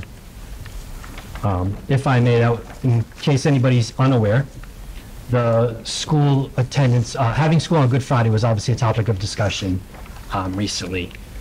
So in the last month, five weeks, I received a few email, about four to five emails regarding this topic. Um, Two or three of them were indifferent. A couple of them so indifferent and okay having school that day. Some things that were mentioned were, the reason they were upset about is because it was never discussed. Um, I think that was sufficiently disputed about the fact that it was never discussed, so I'm not going to go there again. Um, we had decent attendance. We had really good, we had better than I thought attendance for teachers um, throughout that day. Um, the students, the younger they were, the more they were in school. Um, so I don't know if the younger students are more religious than the older students, or, um, but at the same time, I think we don't, we don't, we do have school on the Jewish holidays. I, this wasn't something I thought I was gonna be, okay, I didn't think it was gonna be something that was gonna work. Um, I think it does, and I think it will, so I'm okay with this calendar as is. If anybody else wants to have any discussion on it, we can feel free to, but I just, um, with the amount of chatter that was out there four weeks ago, I needed to make that statement. So, I just want to say, I think that one of the things that really missed is that, I think Danielle, you brought it up, um, which I think is a good idea, but because um, at the end of the school year, June Juneteenth was added, um, and if we were to have five days, then that would like lead us into having one more additional school day, you know, on a Tuesday, let's say. Um, So that's one of the reasons that I was brought up. I mean, I was brought up in a district that we had all the Jewish holidays off. Um, and we just went to school longer, basically. So um, I'm not super religious. It doesn't affect me. I didn't hear a lot, or I don't think anybody up here as well. I didn't hear a lot of bad chatter. Um, I just heard like a lot of the high school kids, I think, just wanted to kind of get away with the day if they could. Um, and because there were no repercussions, basically, if you missed uh, a sport. Their parents had to sign off on that. Yeah. And, you know, It's important to note. so the reason Juneteenth was added is Juneteenth became a federal holiday. Right, exactly. And then um, this is this is just a state holiday. Well, it's a religious. A religious. Yeah, yeah. Okay. I, I'm sorry. The only question I do have, yeah, the only question I do have on the calendar, Peter, is, and I guess if we have it, we have it, but is the Veterans Day observed on November 10th? Is that a real thing? It's always on Tuesday. No, it's always the Oh, 11th. the 11th. But I just, with the 11th being a Saturday, so I know my job, I don't have the 10th as a holiday. I guess that's why I'm asking. So if we establish it, we establish it. Or if it's a, we can look back on it, I don't know. Yeah, it's been, um, my memory is that when Veterans Day falls on a weekend, there's an observance that takes place during the week. Okay. That's fine. I mean, that, that, that's what we established anyway. That works for me. So is there any further discussion on the calendar? I'll be looking for a motion to approve the calendar as presented, um, which, just so people know, if we don't have snow next year, the last day of school is June 11th. Um, So um, I'm looking for a motion to approve the calendar as presented. May I make a motion? A second. All in favor? Aye. Thank you. Um, New business establishment of the next school committee meeting, uh, Tuesday, May 23rd, 7 PM here in the library. Um, I know it's late, but we have one informational item and I want to read it. Um, It was a letter from the superintendent to the Green Wave Boosters, to Melissa Merrick, their president. Um, On behalf of the students and families of the Abington Public Schools, thank you for your thoughtful, kind, and supportive work for our student athletes. Your dedicated and creative collaboration with us has always provided benefits to our students that we could never achieve without you. Most recently, you generous- generously provided Abington High School varsity letterman jackets to the members of our unified sports team. This gesture was a special moment for the individual students, the unified program, and the Abington Public Schools. Beyond that significant moment, we will continue to feel a heartfelt benefit. These jackets will be worn by the receiving students for many years to come with the purest green wave pride. So thank you to the boosters and Melissa Merrick for providing most of the unified athletes at their basketball game in March, I think it was. Um, Some dates to remember. Uh, Saturday, April 29th, Abington Town elections at Beaverbrook Elementary School from 8 a.m. to 6 p.m. Um, I'm going to go off script a little bit on the next one. Um, Melissa actually told me that their meeting is not going to be on May 4th. She doesn't have the date yet, so we can scratch that. I did want to add that I saw an email come through today. Wednesday, May 3rd, the LPAC will have their meeting at 7 p.m. in the seminar room downstairs in the high school. Um, and, and I got this email this morning. AEF is having their meeting on Wednesday, May 10th. Um, Danielle, do you know where? I think, is it Town Hall? Usually- We need in one of the bottom. one of the rooms in Town Hall when you first walk in. And also, they have an ongoing uh, keychain fundraiser with uh, Rustic, I think it's Rustic Molly. Um, the details are on their Facebook page, or aefgreenwave.org is their website. Um, Before we adjourn, I did want to acknowledge that tonight is Wendy Hathaw's last night um, serving as a member of the school, serving as a member of the school committee during a meeting. Um, Wendy's been on the school committee for eight years. She's been reelected three times since then, in 2016, 2017, and 2020, in the middle of a pandemic with me. Um, So Wendy, thank you for your time. Thank you for volunteering. Um, I appreciate all you've given to the committee. Um, don't know, do you want, to- or why don't you add something to it? Yeah, um, Wendy, you and I have had some, you know it, some knockdown, drag 'em out battles over the years. Um, but you've also been a school committee member during some of the most challenging times, certainly in, in the most challenging times in my career. And you've always listened. You've always, um, we've disagreed at times.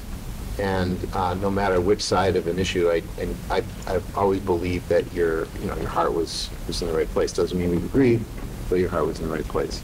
And so, um, with being a school member, you get- you get zero pay. Nobody up here gets any money, and they give of their time and their energy and their emotion, and it's tough. And I'm just, I'm uh, fortunate to be able to work with everybody, and I, you know, appreciate your service to the kids in Abington. Thank you very much. I just want to thank everybody as well. I want to thank um, my family, uh, my husband and my daughter, um, for their commitment along with me, um, all that have supported me. I definitely want to thank you, Peter, um, for always being there to allow me to vent and um, hearing me out. And like you said, we haven't always been on the same side, but I definitely know I changed your mind at times. And you can change mine as well.